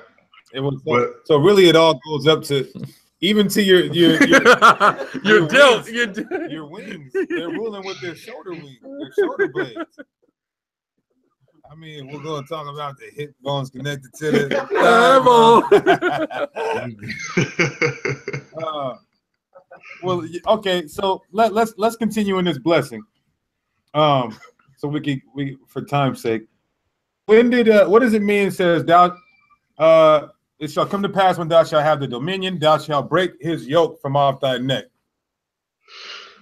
with uh, uh, that's that's referring to the prophecy of uh when when David um Edom and ruled over Edom, and then um I believe it was during the time of Solomon they uh revolted. Am I correct with that? With Solomon, was it with Solomon? I want to say it was later I don't it, it because could've it was been- another king. I want to say Hezekiah pushed a gang of them off a cliff. That okay, yeah, that makes okay. So yeah, that's basically what that's going into. Okay. Um. All right. Uh. So who are the who are the worst who are the worst nation on the planet Earth, according to the Bible? Who? Okay, I, th- I thought you were going to ask me my opinion. Was, Who are the, who are the worst of the Gentiles? I didn't hear that. the no, no, the worst people on the face of the earth, according to the Bible, would be the Edomites. Okay, that's my main man. Okay. So the worst of the Gentiles or the worst of the heathen would be the Edomites, correct? Uh, yeah, Okay. Um. The wicked of the earth. Who would the wicked of the earth be? well, see right here, I because I, I know, um, y'all use the border of wickedness scripture to say me. I would have to say anybody else and don't keep them, but we know that Esau is the border of wickedness too. So when it de- I'm dealing with nations, brother, because you know the Most High ain't dealing with individuals; he's dealing with nations. That's how he judges. Con. So when you, you say who's the wicked of the earth, nation wise, who we have to say? The same person we agreed that was the worst of the heathens, correct? Con. Con. Okay. Now, who kicked us out of our land and and for us to never return and dwelt there? Who um uh the Romans 70 AD. The Romans in 70 AD? Yeah. Are the Romans white people? Uh yeah. Okay, so if if the Bible says the worst of the Gentiles and the wicked of the earth would kick us out of our lands for us never to return and dwell there themselves, would it be safe to say that it's saying that the Edomites would do this to us? Uh no, I can't say that. But you I- just I- I said will that say the worst of the heathen and the wicked of the earth. You agreed on that. Right. So then, of course, then then that would have to mean that, right? Well, and see, okay, let me answer that with a scripture as far as uh because this would explain actually if, if a person don't know the most high nor his law, would that person be reverted to as an animal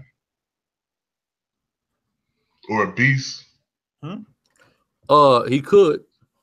Okay, so because Ecclesiastes 3 and 19 says that the you know they they saw themselves that the state of men was uh beasts. Um so what I want to go Okay, to is Isaiah But there's there's a nation 66. There's a nation that's seen as the archetype for the wickedness and the worst, which you agreed is the Edomites. Right. So that's I the point that we're going to. So so Right, go here, ahead. let me read this. Turn turn with me, like your pastor say. Turn with me to Ezekiel. Ezekiel. That's right. Ezekiel. Ezekiel. Ezekiel 7.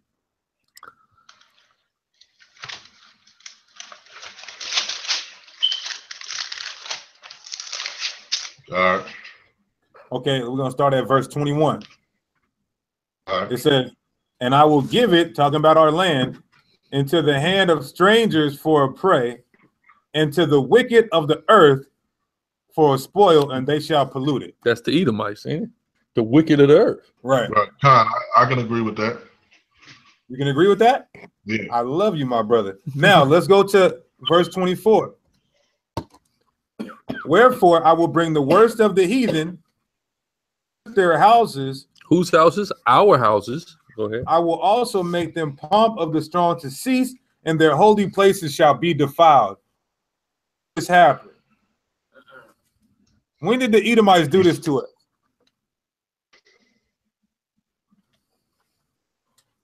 When, well, hold on. When you when you say Edomites, what do you mean? Are you talking about white people? Edomites, because they're the worst of the heathen and they're the wicked of the earth. So when, according to you, that's the Edomites. So tell us when the Edomites did this. When the you talking about as far as my understanding of who Edom is. I'm talking about the Edomites. Whoever Whoever, the are. Edomites are, they would have to have done this. And that and, and that's how you're gonna know who the Edomites are, who kicked us out of our land and possessed it and lived there and defiled it. Well, that we know that the Edomites um, uh, have done that, but then also we know We know- that we in know that. Genesis, Who are the Edomites? huh? Who are the Who are the Edomites? Edomites? Yes. Uh, you know who who I said that was earlier. So the Arabs, Saudi. you said we know that the Arabs have done that. When did the Arabs do that? well, that's what I'm getting at, and I, I was uh, Genesis chapter ten says that uh or Wait, wait, wait. my Ain't no- bad. Edomites don't exist in Genesis chapter 10. huh? Exactly. That's my point. It's it's it's the uh right here or what you just read in Ezekiel. It says, uh, Wherefore I will bring the worst of the heathen, and they shall possess their houses. I will also make the pomp of the strong to cease, and their holy places shall be defiled. Now we know uh, the worst of the heathen, of course, that's that's gonna be Edom, right? But Yep. what I'm getting at is is because you know I subscribe to the white people being Japheth. So when you look at Genesis 10 and it says that or nine, and J- uh, Japheth shall dwell in the tents of Shem. You know, so what I'm saying is earlier that some people subscribe to the Palestinians being Edomites. Like I said, I can't say that. Huh? What uh, we only concerned with what you subscribe to. Right, right. Well, and that's what that's what I'm saying, and that's what I'm saying is some subscribe to them uh, Palestinians being Edomites, and if I if I was the type of person where I where I just want to make this doctrine work, then I would just say that the Palestinians are Edomites, but I'm not going to do that. But but you still but the whole thing is even if you was that type of person or even if you believe that, you still couldn't prove that. And and here's why. Read the read the first verse again. Ezekiel chapter 7, verse 21. Uh-huh. And I will give it in the hands of the strangers for a prey, Read. and to the wicked of the earth for a spoil, Uh-huh. and they shall pollute it. And they shall pollute it. Right, go ahead. Uh, skip to Right. skip to verse 24. Uh-huh. Okay, Uh, hold on, hold on, Wherefore hold I on. will bring the Right work here. of the heathen, and they shall possess their houses. I will also make the pomp of the strong to cease, and their holy places shall be defiled. Meaning the pomp of the meaning they were gonna take it from us. Those Palestinians didn't take it from us. There is no argument o- as to who took that from us. Those are white people. So no matter which way you have to cut it, you have to deduce that the worst of the heathen and the wicked of the earth that's being referenced in Ezekiel 7 are so-called white people. You've already said that according to the Bible, the wicked of the earth and the worst of the heathen are the Edomites. So in factoring in what all that says, the only logical and scripturally fluid deduction that can be made is that the Edomites are the so-called white men. Well, no, and that and that's why I was saying earlier when y'all was saying the wicked thing because I, I know y'all will use the border of wickedness. And granted, I mean, and like I, I- said, y'all do put a word say I will bring the worst of the heathen. So the worst is, which is going to be Edom. Whether he's an Arab or a white man, it's going to be Edom. That's right. Um, so, so and, so and we uh, know- what? we know did this. We know that the so-called white man did this to us, starting with the Greeks, start then Going with the into Romans, Romans. all the way up to 1948. I mean, they didn't take it there, but they're the descendants of those who did take it, and they're staying there. So hmm Right. you would so, have to go My, ahead. question, my question then would be during the uh, sub-Saharan um, slave trade when we was dealing with the Arabs and uh, we was we was kept uh, held captive by them. Were they not in our land then? Um, the question is number one, during the sub-Saharan slave trade, were Israelites being taken into slavery? You said what? Were Israelites being taken into slavery in the sub-Saharan slave trade? Were they being taken? Uh, yeah. How can you prove that?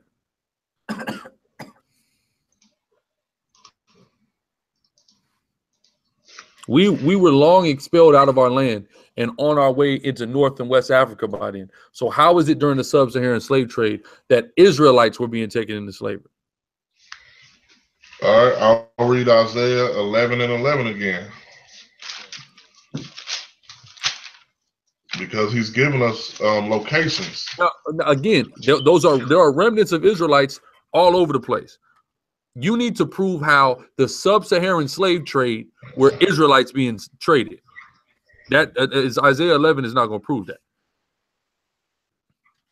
No, I'm saying because you you said that we was headed towards you know West Africa, so I was so I was gonna pull that to show that we was still there, or and we still have a remnant of our people there. Okay, but the sub-Saharan slave trade was millions of people, not a remnant, millions. So the, the Mm-hmm. No, question no. I'm, is, well, no. who were well, the hold on, people in see, sub-Saharan? Well, no, no. I, all I said was Israelites went into slavery. I never said that that's all that they took. Because if when you read in Jeremiah 25, the Babylonians didn't only take Israel into captivity; they took the Edomites. Okay, that's great, right? So the question is, what does that have to do with who came and took our land and possessed our land? That's the scripture we're referencing. You're talking about the sub-Saharan slave trade. We're talking about who came and took our land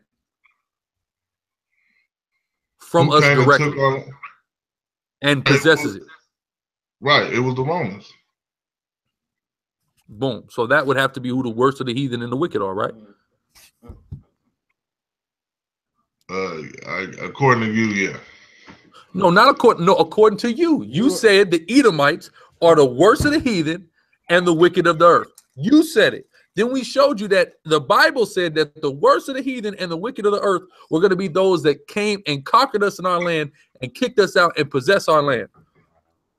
You agree that that's the Romans. So according to the Bible, the Romans or white people have to be Edomites. Go ahead. Naquan, this, Naquan, this is a trick bag, and you're in it right now. we got you in a trick bag, brother. Uh, shut up. uh, but no, no. Okay. Well, and seeing this, is what I was getting at. That's why I brought out that uh, Joshua scripture earlier when the you know the Romans and the Edomites mix. So either way, dealing with um uh the Romans or the Edomites coming in because they they mix with each other. That's what Esau does is he mixes. He tries to hide himself. Okay. Um. And so like like Go ahead. Go ahead. I'll let you finish your last point. Oh no, no, I no, I was gonna say that I, I would even be willing to subscribe to the fact that uh, you know, the Rothschilds, the um uh all, all of these so-called white people that are at the at the so-called elite, I would I would subscribe that they uh either Edom or mix with Edom.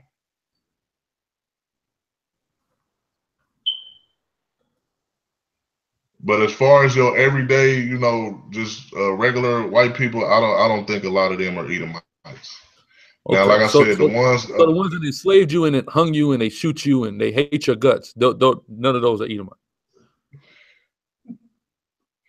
well, when we talk about slavery, we got to understand that uh, the the people who owned slaves was rich white people. No, Um, that's not that's not true. Who told you that? White people didn't own plantations. Oh, there there were Irish immigrants, poor Irish immigrants that owned slaves. So we No, yeah, I can, I can believe, but I'm, I'm talking, I'm, I'm talking about it as far as a plantation where you have hundreds of slaves out here working your crop. no, no. I'm I'm talking about slavery. If you put one black person into slavery, that's that's slavery, and that's a crime against the chosen people of God, right or wrong. Right. Hey, hold on, hold on, hold on. I just got some important news from the sergeant, the sergeant of arms. Uh, Go ahead. how how valid is the Book of Jasher? How valid is it? Yeah. Well, that's uh, well, that's why I uh I, I haven't uh I've always heard that it's no good. I haven't researched and uh any of that on Jasher. You know. Okay. I'm, I'm but you're using it to teach a breakdown. Well, I mean, no, I mean the same way you know that y'all pull this. Y'all y'all don't believe everything in here. Hold on, but King, King, when did when have you ever seen us pull out Babylon and Timbuktu?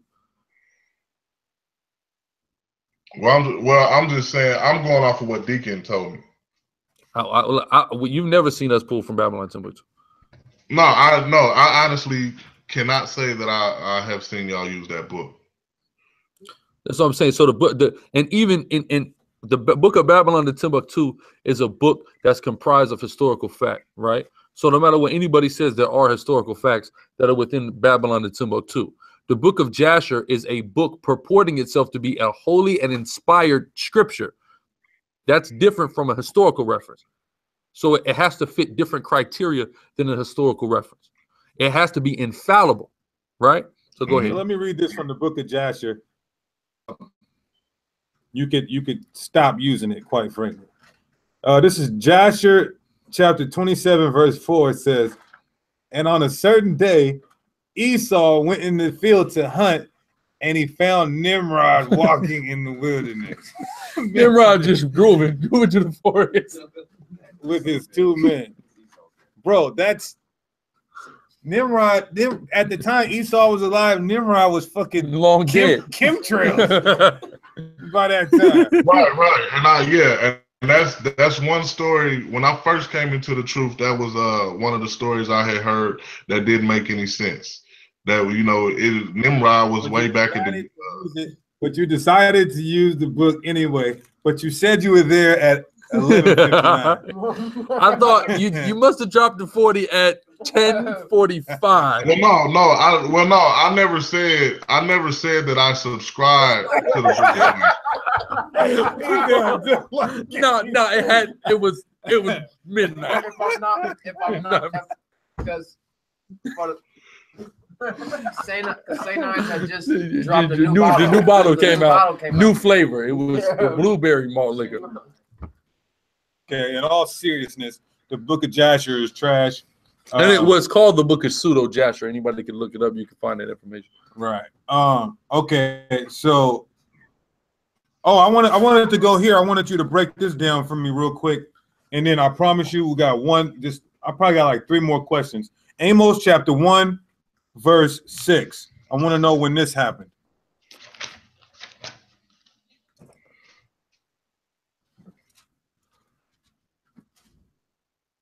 You ready? Yeah. Thus saith the Lord, for three three transgressions of Gaza, and for four, I will not turn away the punishment thereof, because they carried away captive the whole captivity to deliver them up to Edom. So when did uh uh uh, uh Gaza, the Hamites, the, the original Gaza Hamites, when did they the Egyptians, when did they deliver up the whole captivity of Israelites to Edom? To the Arabs. Uh. Well, that's I'm gonna uh, plead the fifth on that one. Um. Okay. But I- you know, I- you're a great brother. Ask you. You're a great Can brother. you break that down so I can get some understanding? I'll tell you exactly when it happened. Uh, it's called the transatlantic slave trade. When the Africans sold us to the white man, them is the white But- man. But Gaza, you said Gaza is Ham, right? Um. The Philistines. Right. Gaza is in the Gaza was in the west coast of Africa when we was in doing the transatlantic slave trade. Are you familiar with the conquest of the Levant and the gentrification of the Levant? No. Uh, Zachariah. let, Zechariah 9 speaks about it. But as we know, when we when we were pushed out of our land, the Hamites were pushed out with us. If you do any research on the kingdom of Carthage, you know about the kingdom of Carthage, right? Hannibal, I've heard, yeah. Yep. right? So when you do the history, it'll tell you that it was us and it was the Hamites that was with us, the Zidonians and the Philistines that was with us, because all the Negroid people that were in that region was getting pushed out by the so-called white man and the so-called Arab man, right? The Nabateans rose, and then the, the- from the south, and the Romans rose from the north, right? So Mhm. as that happened, we all were migrating into Africa further and deeper into the interiors of Africa together. We were separating. We still identified each other separately, but we were all getting pushed out together, especially as the Arabs rose and began to seize most of East and North Africa, right? Right. So we all got pushed out there. So the Hamites, of course, uh, conspired with the so-called white man to sell us into slavery. And I, I, we'll prove it to you in the Bible real quick. Hold on. Yeah, there you go. Zechariah. No, there you go. Okay, turn with me real quick to Zechariah 9. And uh well, you don't have to, but if you want to, you can. We're gonna prove to you that because of the conquest of the Levant, starting with Alexander and the Romans, that um no no uh nobody's supposed to be over there right now that's over there they're all bastards. Not just the uh the white jews in israel but also those fake ass excuse my language palestinians. Those are not the real palestinians. Those were real africans that were over there. But the bible tells you this. Zechariah 9 and 6 it says and a bastard shall dwell in ashdod and i will cut off the pride of the philistines. So when you look up the word ashdod in the in the greek I'm sorry, in the Hebrew, it's a major uh Philistine city on the Mediterranean Sea west from Jerusalem. All right. So right now supposed to be over there. Right. And just going into uh substantiating what the brother was saying about the history of the conquest of Levant. I think Babylon and Yeah. Timbuktu speak about some of that. Um, okay, so just a lot. Let's let's let's let's do this real last quick topic. Uh, twelve tribe Negro only. Um, where is the Northern Kingdom? The Northern Kingdom uh, spread throughout um, uh, Turkey down into the interiors of Africa. Okay. Um, Who are the Turkish members of the Northern Kingdom that are in Turkey? You said what? Research. Who are these Turkish Israelites in Turkey? Can I research these people? Um, going off what the scriptures say. I haven't tried to look up any Negroes in Turkey or anything. I'm going off with the um, scriptures say. uh, so, but they're they're from Turkey. They've been in Turkey this whole time, right? I'm yeah, or no, no. Uh, I just well from Turkey, from from Europe all the way into the interiors of Africa, So, but they would have had and, to and even and even in Turkey for generations, right? I'm talking about we're talking about 20, you know, uh, uh five, 2700 years, right? huh, uh, Okay. with, But we okay, don't know. um, with how we multiply, bro, why, why, why we, we would have took a- been took over Turkey. That's what they Um, kicked us out of Egypt for. just just and I, and I want to say this too. Um, the elders just took a trip to Israel. Everybody seen the footage of that, made the news. Elders, the House of David, uh, Elder Mathathwa, Elder Barak, uh, Elder Benyamin, Priest Kahan, etc. Uh, Priest Karat Allah. Before they went to uh, Israel, they stopped in Turkey, where he's saying that there's this great portion, which there is a great portion of Israelites in Turkey. Who knows what country these Israelites that are in Turkey are from? Are they from Turkey or are they from somewhere else? They're from Jamaica. There's a great deal of Jamaicans that live in Turkey, and that is pretty much the crux of the black population in Turkey. A lot of Jamaican immigrants. There, to my knowledge, and he says he hasn't done the research, so he cannot produce any fact contrary to that. There is no ancient black population of Turkish people that have been in existence in Turkey for the last 2,500 years. All right, so I just want to make that plain and clear. But go ahead. Uh, okay. So I want to ask you a question. The Northern Kingdom is black, other black people, right? Other Negroes, correct? mhm. Do you hate black people? I just gotta ask you straight up. No, you said what now? Do you hate black people? well, okay. What was the question before that? I said, I said, you said that the Northern Kingdom are Negroes, other black people. I'm asking you if you hate black people. No, You don't hate black people. Have you ever hated black No. people? But like before you in the truth, maybe. no. No. Okay. Do you have a problem with Hispanic brothers? People. No. We'll just, we can just say Hispanic people. people. Hispanic people. Huh? No, no. No. You said that with a smile on your face, brother. You don't have a problem with Hispanic I know people? how it go down in the Midwest, man. Them Mexicans crazy down there. That I ain't got no problem with none of them. I I never You never- dealt you with never- them like that.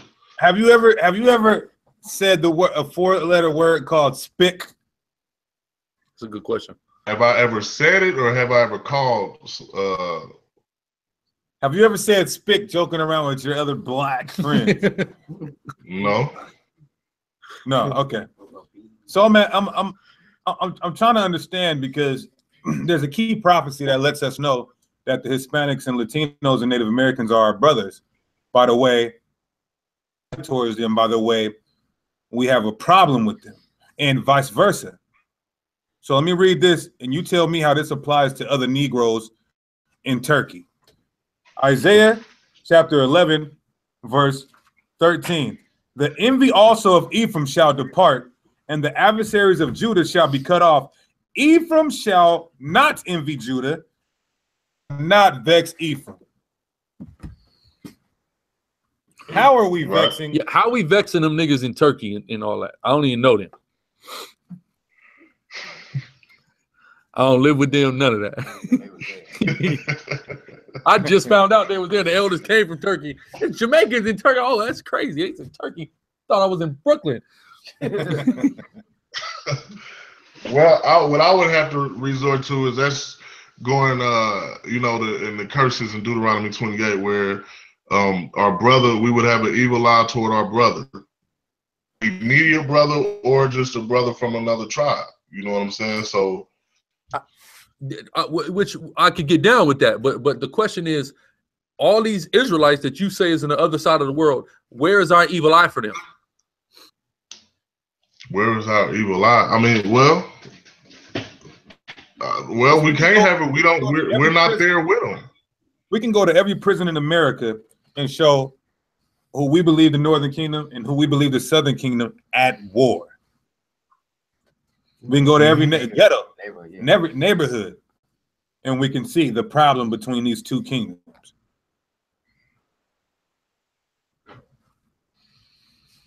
Yeah, I was- But we my can't see any example of who you say. You said what? But we can't see any example of what you said. This this this is kind of the thing. Like like I was trying to tell Nasi when we were debating him, we got to deal with the practicality of these breakdowns, and you got to be able to bring these breakdowns to life. Like when why we're compelled to believe what we believe. I I can have that brother read that scripture, and I can break that scripture down, and I can make it make sense to any logical human being. I need you to be able to do the same thing with all the things that you purport to believe, i.e., Mecca, Esau not being the white man, and the Northern Kingdom not being the, the Hispanics. And uh, Every time we are faced with these things, the, the our opponents always fail to do that. This is what we want you guys to do. when We bring you guys on, but brothers, I don't, for whatever reason, it's not being done.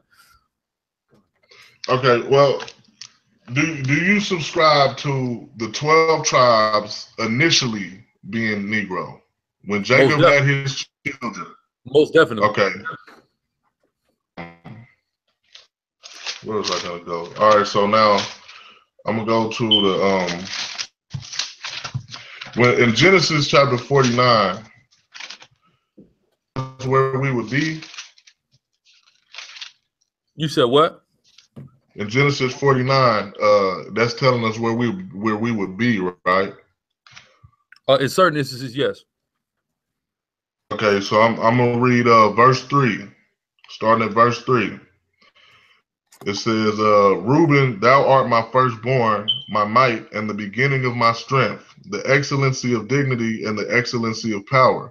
Unstable as water, thou shalt not excel, because thou wentest up to thy father's bed. Then defilest thou it, he went up to my couch. Would have to ask is based on what I just read and using nothing else except for precepts in the Bible, how can we prove that the Reubenites are Seminole Indians? Um, by comparing what group of people fits the excellency of his dignity and his might, and then going into the other aspects of Reuben, Deuteronomy 33, and the other history about the tribe of Reuben. Well, uh, okay, well that's why I'm saying. It's, I need to know, like, uh, how do we know the Seminole Indians when it says the excellency of his dignity?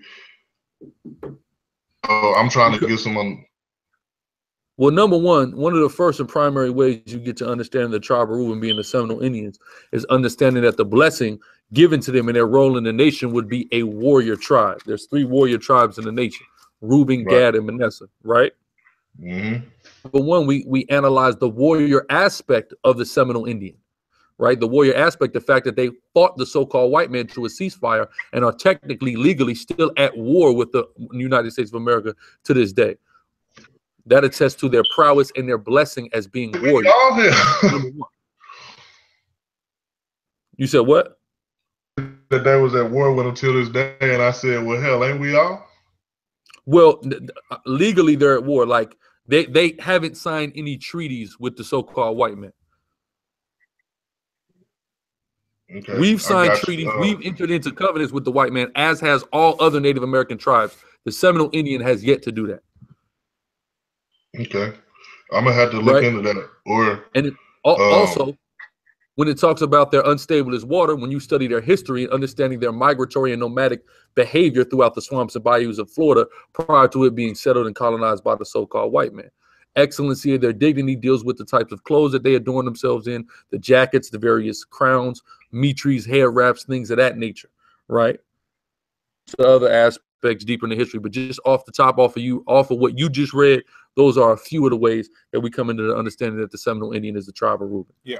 Also, they're mentioned by geographical location in, In the book of Revelation. Revelation, the seventh chapter. Geographical location, pinpoint accuracy. That's right. And where at? Revelation seven. Let's, let's read it. Revelation seven. Starting at four, uh, one or starting at four.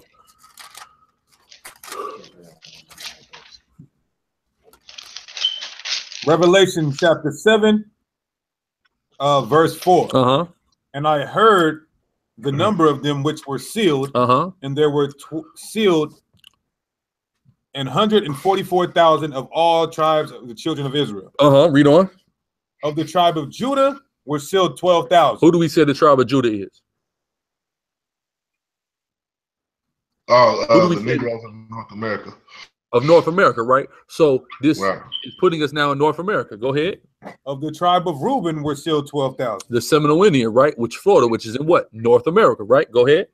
Of the tribe of Gad we're still twelve The. North American Indian. So we see the three tribes that were in North America were just covered in the geographical sequence, and it'll continue. Read on. Of the tribe of Asher were sealed twelve thousand. That's South America, Colombia to Uruguay. Go ahead. Of the tribe of Naphtali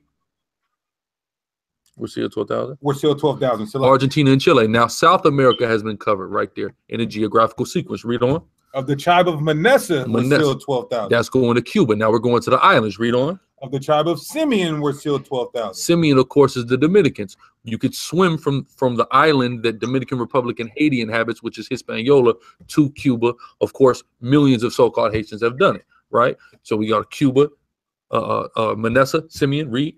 Of the tribe of Levi were still twelve You see that? It's only mentioning them in the geographical way that the 12 tribes chart broke down. Go ahead. Of the tribe of Zebulon were twelve thousand. Guatemala to Panama, right? Go ahead. Of the tribe of Joseph were still twelve Salaki, you skip Issachar, right? Slakia. Go ahead. Of the tribe of uh, Issachar were twelve thousand. Mexico, read on. Of the tribe of Zebulon were still twelve. What's on the bottom of Mexico? Guatemala that goes all the way down to Panama, read on. Of the tribe of Joseph were twelve thousand. Puerto Rican island, read on. Of the tribe of Benjamin were sealed twelve You can thousand. swim from Puerto Rico to Jamaica. Let's right? get a most high in here. man. Let's get a most high here. Most high is Powerful. Hey, you ain't gonna be able to convince us otherwise until you can do something like that with whatever you purport to be the 12 tribe. Right. You have to be able to take what what I what our claim is and apply them to every prophecy in this Bible with pinpoint accuracy. The accuracy. way we can in the spirit. right. Through the spirit. Now, uh, before we get off topic, let me continue real quick.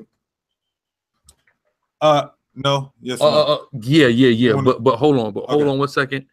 We no no no. Let, let's let's wait one second now. Dealing with the let, let's continue on with the 12 tribes now. yeah, right. that's what Go ahead, go ahead. Let's go there. Yeah, you're right. uh uh I know you're familiar with this, so we're gonna do Hosea 7 and 8. Ephraim, he has mixed himself among the people. Ephraim is a cake not turned. What's your understanding on that? The well, if you my understanding is if you take a pancake, right, you leave it on one side and just let it sit there and burn. Bad. You there, Rock? You there? Can you hear me? Can you hear me? Yeah, we Yeah, can yeah, now. Con, you good. Go ahead, King. Um, so yeah, if, if you take a pancake and let it sit and burn on the griddle, is it good or bad once it's burned? Uh, depends on who you are. You like burnt pancakes? Some people do. Hey, some some people that's all we got, brother. It's the scriptures say to roast with fire, brother. Hey, well, matter of fact, when I listen, my wife asks me how she want my dinner. I mean, my my breakfast. I tell her char it. All right. right. Well, okay. Well, to most people, that would be considered bad. Well, that's an opinion. What is th- that's the thing? That's an opinion now. What is the fact of what a what a pancake is if you don't turn it? What you mean? What, what's the fact if you don't turn it? It'll Is it a fact that one side will be light and one side will be dark? well, it will not. It'll actually cook through. It'll cook through, huh? You'll have the yeah, it will. You'll have a lighter side. I get what you're saying, but Okay, it will you'll have you'll have a lighter side, right? That's a fact, right? right.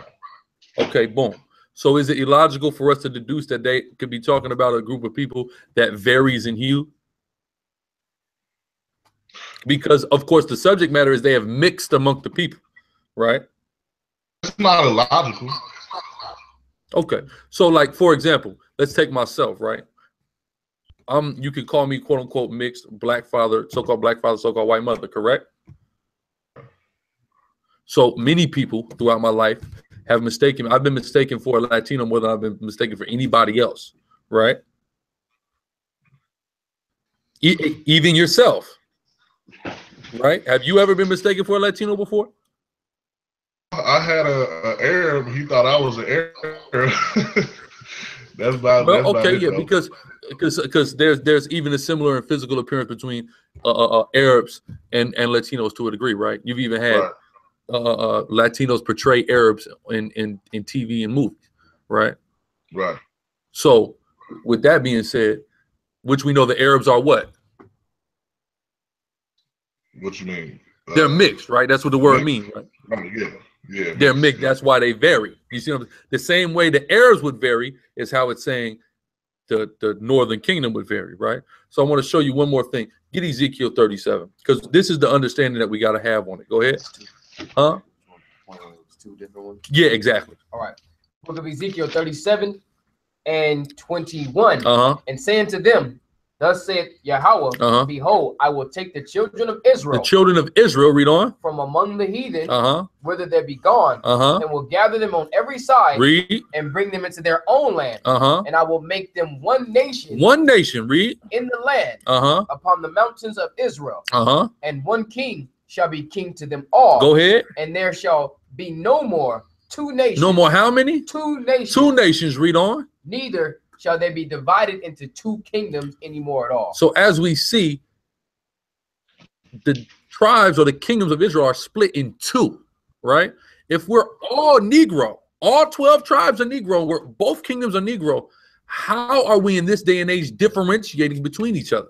How are we separating each other? Because this is a last days prophecy, how we would stop being two and become one again. So how is if they're all Negroes just in another part of the earth, dealing with this the the the racial concept that the so-called white man has propagated, we're all one, just Negro. We're all Negroes, right? So if that's the case, we're not two. What is this enmity Hamashiach Yahawashi is coming to slain? What is this two that's going to be done away with when we are made one again? If we're all the same right now. Well, but that's well, okay. So, are you telling me then that when they when when you had the separation in the kingdoms that we we still look like Negroes and they didn't look like Negroes anymore? Well, uh, I would say that it started then, and I could go to historical references to substantiate it if you'd like. Okay, yeah. Let me let me see. All right, one second. All right.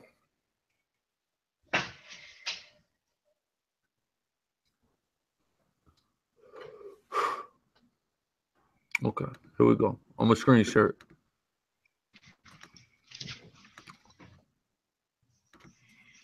This is via a book, a historical reference called The Concise History of the Jewish People. And it reads, um, besides the political and ethnic differences between Israel and Judah, there were religious ones.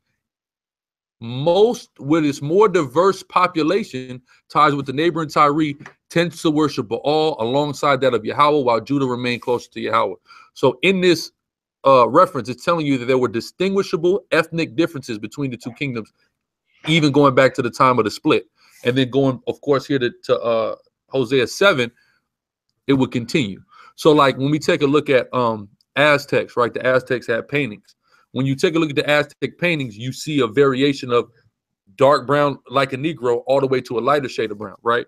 Uh, in their kingdom, even pre-colonial uh, colonialization. So we can see how they were mixing, they vary. And it started even going all the way back then. But of course, over the course of time, it progressed.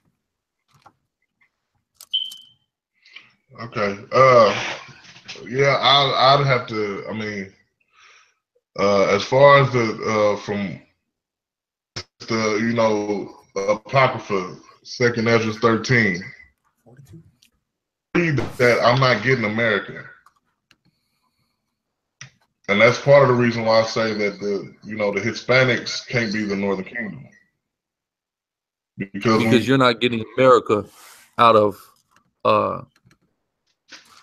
uh which we'll call it uh second Ezra 13. Real quick, we'll deal with that in one second. Let's go to Isaiah 42 though, real quick. 42 and 22. Oh, okay, okay. Mhm. Yeah, Isaiah 42 and 22. Read. But this is a people robbed and spoiled. Uh-huh. They are all of them snared in holes, Read. and they are hid in prison houses. So let me ask you something. Who are the pre- predominant two people that are filling the jails? uh, blacks and Hispanics.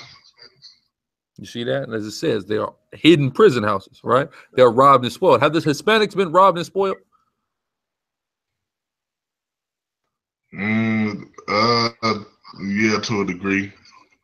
To a degree? Um, j- just a quick FYI. Well, when I- when I- Spanish ships were sinking in the sea because of how much they were stealing from the indigenous Right, peoples of the how Americas, they how had, much gold they had. Well, yeah, see, that's why I said to then, yeah, but I'm saying Mexicans now, you know, they have a place they can go to. All the Mexicans where we live around here, So do Haitians. I, hold on, I got a place I could go to, brother. This brother's Bahamian. He got a place he could go to. Jamaicans got a place they could go to. So are we not Israelites? No, but that's not your home. But wait a minute. If the, you didn't bring up being a home, and technically we can we call it our home. It's our country now, isn't it? I mean, well, yeah, that's well, yeah. When you want to get into the word like indigenous, and that's why I tell people all the time when you say the indigenous people, all that word means is born in. So it, the white man is indigenous to America. He's born in in this country every day. You know, All so right, but I mean, I yeah, mean of again, course- the question course- is, have they been robbed and spoiled? right. All right. So they've been robbed and spoiled, and they are hidden prison houses, like it said the Israelites would be, right?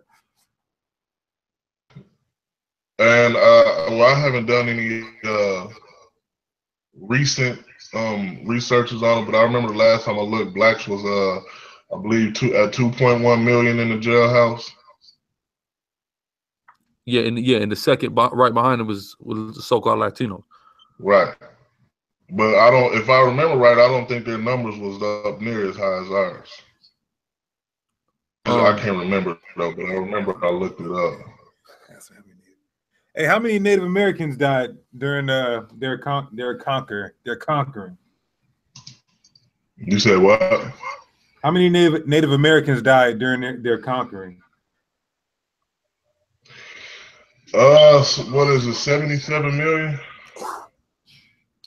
Is there outside of what happened to the Negro? Is there any even closely relative, like relative, anywhere in that neighborhood of of, of genocide or conquest that has ever occurred to anybody in the world?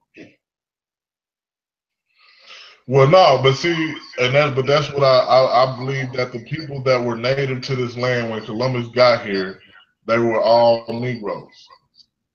Hamites too. You had Hamites here too. But Okay, so if that's the case, um, even though we have archaeology that could substantiate that, who the hell are the people calling themselves Latinos now? Who are these people? Where do they come from? those are the children of uh, Spaniards. So th- there's there's dark skinned people walking around with Well, well, afros hold that on, are hold. Spaniard children.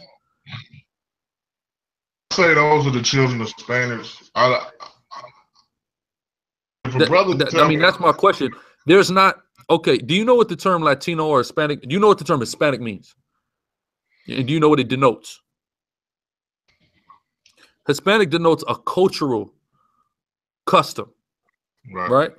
So under the term Hispanic, you have Spaniards, you have indigenous people, and you have Negroes, right? Right. And sometimes you have China, you have the Chinos that, that also will also identify under uh, uh, the Hispanic nomenclature, right? But so we know the Spaniards know who the Spaniards are, and they disassociate mm. themselves, and they are in a higher social caste amongst Hispanic culture than those who are descendants of indigenous or Negro. So there's a clear distinction between the three categories, right? So to say that those people are children of Spaniards, the children of Spaniards are the Spaniards. They're clearly white people. People. That's the question. When I say the children of Spanish, I mean the the um the product of rape.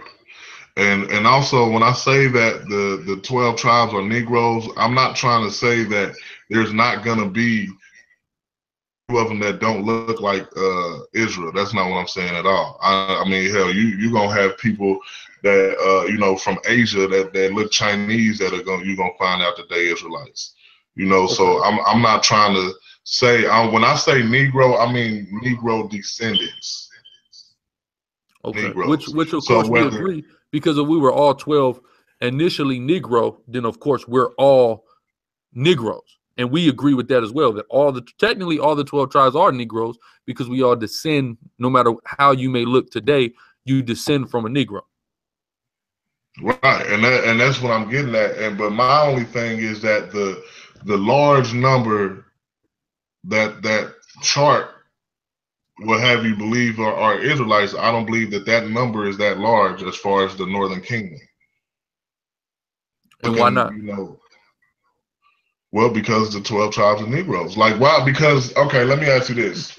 Because you read Yeah, so, so it's about so I thought it wasn't about looks, now it's about looks again. Well, no, hold on, because you read in Hosea that Ephraim mixes himself among the people, right? So Mhm. did not Judah do the same? Did we not mix with the other nations?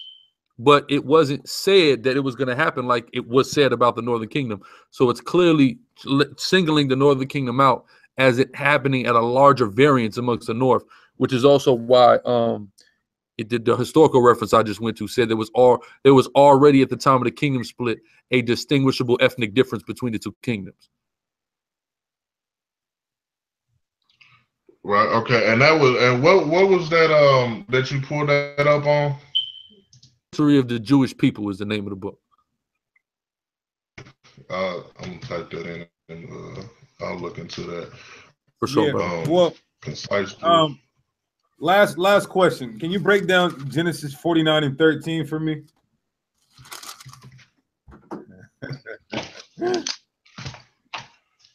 With the end time connotation.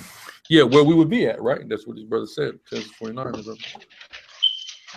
All right, 49 and what? 13. 13. Uh, Zebulun shall dwell at the haven of the sea, and he shall be for a haven of ships, and his border shall be unto Zidon. Yeah, break that, break that down. Well, I know, I know how the camps break it down. I mean, how would you break it down? Well, when you, as far as uh Zebulun, and when you look at uh, over there in um in the Middle East, they have a a, a canal also over there. Okay, so who are the black people that are from there? that are from uh Th- Where that from canal, overseas from the Suez Canal, which is ran by Arabs, where are the Israelites at? where are the Israelites which uh over there we're in captivity. Where? Can you? Who are they? Where are the captive black people in the Suez region? Is there any reference? Is there anything you could even relatively uh, produce as evidence to that being the breakdown of that? Uh I mean I could try to look something up real quick, but uh I'll just say no.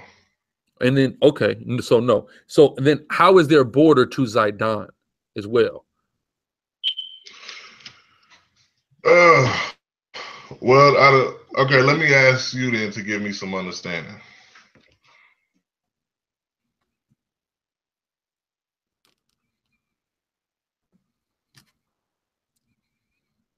Go ahead. No, I was no, I was saying I, I was uh I was asking you to give me some understanding on it. Oh, okay. You know what? Um, Soldier Abaja, report to the front. We're gonna let a we're gonna let a Zebulonite give you the understanding of what this is. Yeah, he can have. Go ahead, take your seat You, know, you gotta give the seats. You gotta serve. Somebody if you wanna read. Matter of fact. I'll read. I'll read for you. the book of Genesis, 49 and 13. Zebulon shall dwell at the haven of the sea. Oh, hold on. Uh, you're familiar with the Panama Canal, right? Yeah. Okay, isn't that a haven of ships? Isn't that where the largest import export from the Atlantic to the Pacific is? Get down, brother. And he shall be for an haven of ships, I just told you the Panama Canal was along with the rest of Central America. Go ahead. and his border shall be unto Zidon. You you're familiar with the o- Olmecs, right? The Hamites? The Olmecs, yeah. Yeah, there's Zidonians, aren't they? They're the descendants of Zidonians, ain't they? Uh, isn't that where Guatemala would face I'm- them? I don't I'm, I don't know that. But you just said that the 12 tribes are all Negro and There were Yes. Hamites in America. in the Suez Canal, right? Isn't that what you're saying? Correct me if I'm wrong. No. Isn't that what you said that the Suez Canal is where the Zebulonites would be, right? The well, that was an example I gave of a of a canal, and yeah, and our But that's, people no, uh, that's being what you over. said, right? That's what you said. But Guatemala would face where the Olmecs, who are descendants of the Zidonians, would be, which would be the start of Zeb of the uh, of where the Zebulonites would face them. No, because this is an end time prophecy, correct? Am I correct? Yeah, but how do how do we? Is there proof that those are Zidonians down there in South America? Yes. They they said it themselves. Also, if you look in a when Solomon would send them, when didn't they get shipwrecked? Well, then it said it would be a three year trip to go there and come back. Okay, well, right there in that scripture, when because it says when they bring to them pe, uh, um, peacocks and uh, apes, right? Where are peacocks and apes indigenous to? There were there were apes. There were apes in the Americas called the Gigantopithecus. If you look that up. Mm-hmm. Also, All right, all right, I'll, Hey, like, hey, hey, like, like this is my first trip around the block. so but peacock. so where are the so where are these Israelites in the Suez Canal, like the chief priest asked you? Because I'm showing you these people. I, I, these I people got said, I said, right I. I, I'm- I said I can. I said I'm. I can't answer that. Okay. So then you tell me where they're at then. Well, how does it? Where does this prophecy fulfill at? He, he, he said he can't answer it. Oh, you Okay. can't. Okay, okay, okay. He All right, digresses. good, He digresses. Get a, See, get a, get a, uh, get a powerful Slow. soul for hand. Charles Zebulon. My God. See, see that that this this be our thing, right?